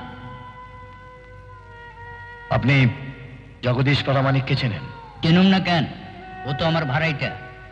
আপনি এনাকে চেনেন? খুব ভালো করে চিনি। এই ভালো করে কথাটা একটু ভালো করে বুঝিয়ে দেবেন? এই লোকটা নানা ছুতা কইরা জগদীশের অবর্তমানে জগদীশের স্ত্রীর সঙ্গে এসে আলাপ আলোচনা করত। আমি প্রথম দর্শনেই বুঝছিলাম যে লোক সুবিধার না। দুই তিনবার এর আমি বাজারেও দেখছি। জগদীশের স্ত্রীর সঙ্গে গায়ে পইরা খেজুরে আলাপ করতে। আমি সাবিত্রী এবং জগদীশের সাবধান করছিলাম। এর কু নজর জগদীর প্রতি আছে। তারপর? তারপর একদিন আবার হঠাৎ কইল যে ওর উঠে যাইতেছে মায়াটা কাঁদতে কাঁদতে আমার পায়ের দিয়া চলে গেল। তখন কি আমি জানতাম? সেই শেষ বিদায়? তারপরে খবর কাগজে পড়লাম। এক অজ্ঞাত ব্যক্তি ওর খুন করছে এই ফুলের মতন বাইরে যে খুন করতে যে বাঁচবো না। সে বাঁচবো না। এই পয়েন্টটা নোট করবেন, বিচারকগণ। রঞ্জিত বাবু এইমাত্র বললেন, উনি জগদীশ পারামানিককে চেনেন না। কিন্তু অন্নপূর্ণা দেবী আর খোকন মজুমদারের সাক্ষীতে প্রমাণিত হলো উনি শুধু জগদীশ পরমাণিককে চেনেনই না বরঞ্চ ভালো করে জানেনও। আপনি উটি কেন গিয়েছিলেন? আপনি জবাব দিচ্ছেন না কেন? উটি কেন গিয়েছিলেন? জবাব দিন। আমার উটি যাওয়ার কোনো প্রশ্নই ওঠে না।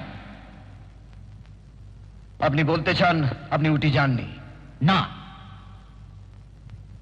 মিস্টার ডেভিড আপনি চেরিং ক্রস হোটেল উটির রিসেপশনিস্ট তাই না? ইয়েস স্যার আপনি সেই ভদ্রলোকের নাম বলতে পারেন যিনি চোদ্দই April room number two zero সেভেনে চেক ইন করেছিলেন। রঞ্জিত সরকার। আপনি তাকে দেখলে চিনতে পারবেন। Yes sir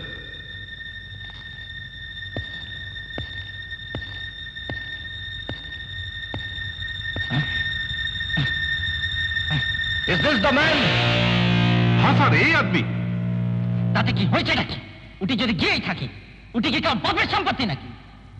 আপনি ঠিক বলেছেন। উটি কারোর বাপের সম্পত্তি নয়।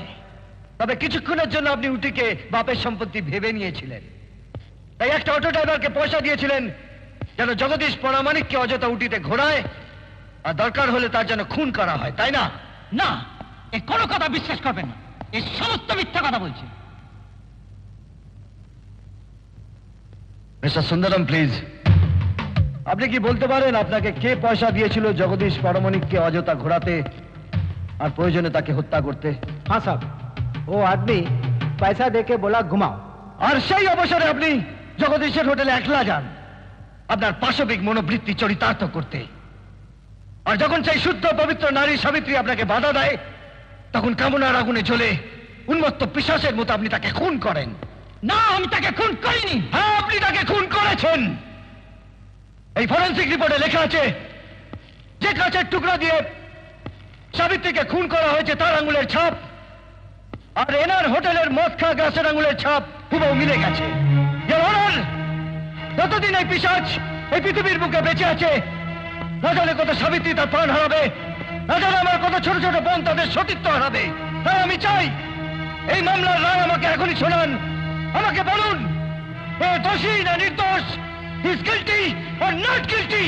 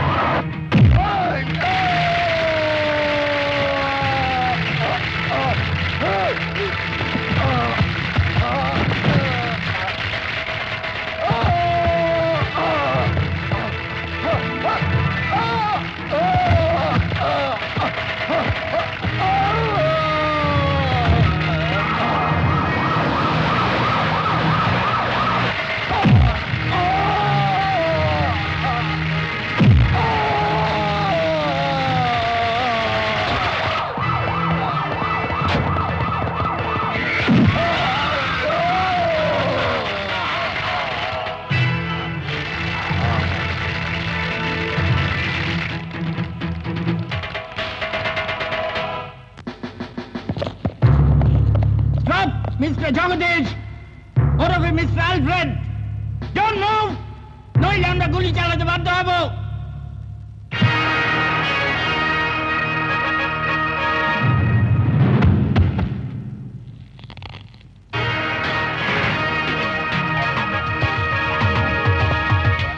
আপনাকে খুনের দায় অ্যারেস্ট করা হচ্ছে। বিখ্যাত ব্যবসায়ী সোহনলাল কাপাডিয়া আর মদের ব্যবসায়ী। অ্যালফ্রেডকে বিচার করার ক্ষমতা এবং অধিকার আপনাদের ওই কাগজে কলমে লিখিত আইনের আওতায় পড়ে না। অ্যালফ্রেড খুনি কিনা সেই বিচারের অধিকার আমি শুধু এই জনতাকে দিলাম। অ্যালফ্রেড খুনি! আইনের চোখে সে খুনি। বিবেকের চোখে সে খুনি নয়। জনতার চোখে সে খুনি নয়। তাই বলে আইন আপনি নিজের হাতে নিতে পারেন না, মিস্টার আলফ্রেড। আপনি ঠিক বলেছেন, ইন্সপেক্টর। আইন হাতে তুলে নেবার অধিকার অ্যালফ্রেডের নেই। অ্যালফ্রেড কেন? কারোরই এ অধিকার নেই। কিন্তু বলতে পারেন, কখন ভীরু, কাপুরুষ, জগদীশ পরামানিকের মতো লোকেরা আইন হাতে তুলে নেয়, তখন সমাজের রক্ষাকর্তারা নির্বাক দর্শকের ভূমিকা নেয়। তখনই জন্ম হয় অ্যালফ্রেডের। কিন্তু এর জন্য দায়ী কারা? আমি, আপনি, আমরা সবাই। আমরা শুধু এক বাক্যে সমাজ আর দেশকে দোষী করে চলেছি। যে দেশ আমাদের জন্য কি করল, সমাজ আমাদের জন্য কি করল? কিন্তু কখনো ভেবে দেখেছেন? আমরা দেশের জন্য কি করেছি? It is not important what country has done for you it is very important what you have done for the country এটা বড় কথা নয়। কি দেশ আমার জন্য কি করল? এটাই সব থেকে বড় কথা। আমরা দেশের জন্য কি করলাম? পরাধীনতা শৃঙ্খল থেকে আমাদের স্বাধীন করার জন্য যারা জীবনের বলিদান দিয়েছিল, তারা তারা কি বাবার আশা করেছিল? আর পেয়েছেই বাকি শুধু বুলেটস আর ফাঁসির দড়ি? সেই ফাঁসির মঞ্চ থেকে আমাদের ভবিষ্যৎকে শুধু একটাই শিক্ষা দিতে চেয়েছিল যদি বাঁচতে চাও, তো বীরের মতো বাঁচো, কাপুরুষের মতো নয়। আমার বাবার মতো সমাজের দিকে আঙুল তুলে পলাতকের ভূমিকা নেবেন না। যিনি তার জগদীশ পরামানিককে কখনোই বলেননি রে তোর মা মিথ্যে? তুই সত্য। ওই আসুরাগুলো দোষী নয়, ওরা দোষী। ভয়ে কুকুরে প্রতিবাদ না করে ঘরে কোণে বসে থাকিস না। আজ আবার সময় এসেছে। ওই শিক্ষার চেয়ারে বসে ভবিষ্যৎ প্রজন্মকে বলার। কে ওঠো? জাগো! সমস্ত অবিচার, অন্যায়ের বিরুদ্ধে প্রতিবাদ করো। শহীদের আত্মত্যাগ, বলিদান আর অমর বাণীর বেদবাক্যের সোনার কাঠি ছুঁয়ে আবার তাদের জাগিয়ে তুলুন। দেখবেন কাল সারা ভারত আবার বলবে, what Bengal thinks today, India thinks tomorrow. Sir sir, আমাকে তো আমার কর্তব্য করতেই হবে। অ্যালফ্রেডকে আমায় অ্যারেস্ট করতেই হবে। না। না বন্ধু, না। আপনি জগদীশ পারামানিককে অ্যারেস্ট করতে পারেন। অ্যালফ্রেডকে নয়। অ্যালফ্রেড মুক্ত। অ্যালফ্রেড হলো চেতনা। অ্যালফ্রেড বিবেক। অ্যালফ্রেড মানুষের মধ্যে লুকিয়ে থাকা একটা বিদ্রোহ। যাবার আগে শুধু এক অনুরোধ। কাজের অজুহাত দিয়ে নিজের ভেতরের অ্যালফ্রেডকে মারার চেষ্টা করবেন না। গুরুদেব বলতেন, পৃথিবী মঞ্চে আমরা নাকি সবাই এক একজন অভিনেতা। এই মঞ্চে আমার অবদান শুধু এতটুকুই ছিল। আপনারা কতটা বুঝলেন, না বুঝলেন, অ্যালফ্রেডের এখানেই শেষ, না শুরু।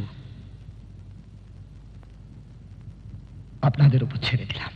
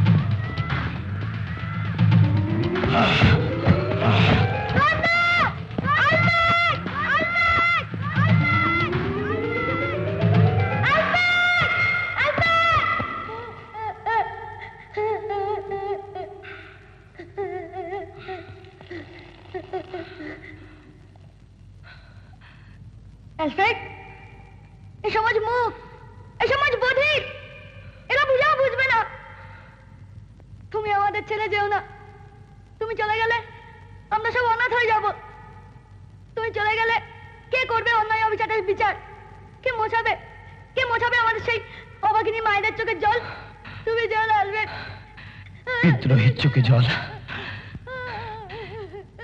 বিদ্রোহের চোখে জল।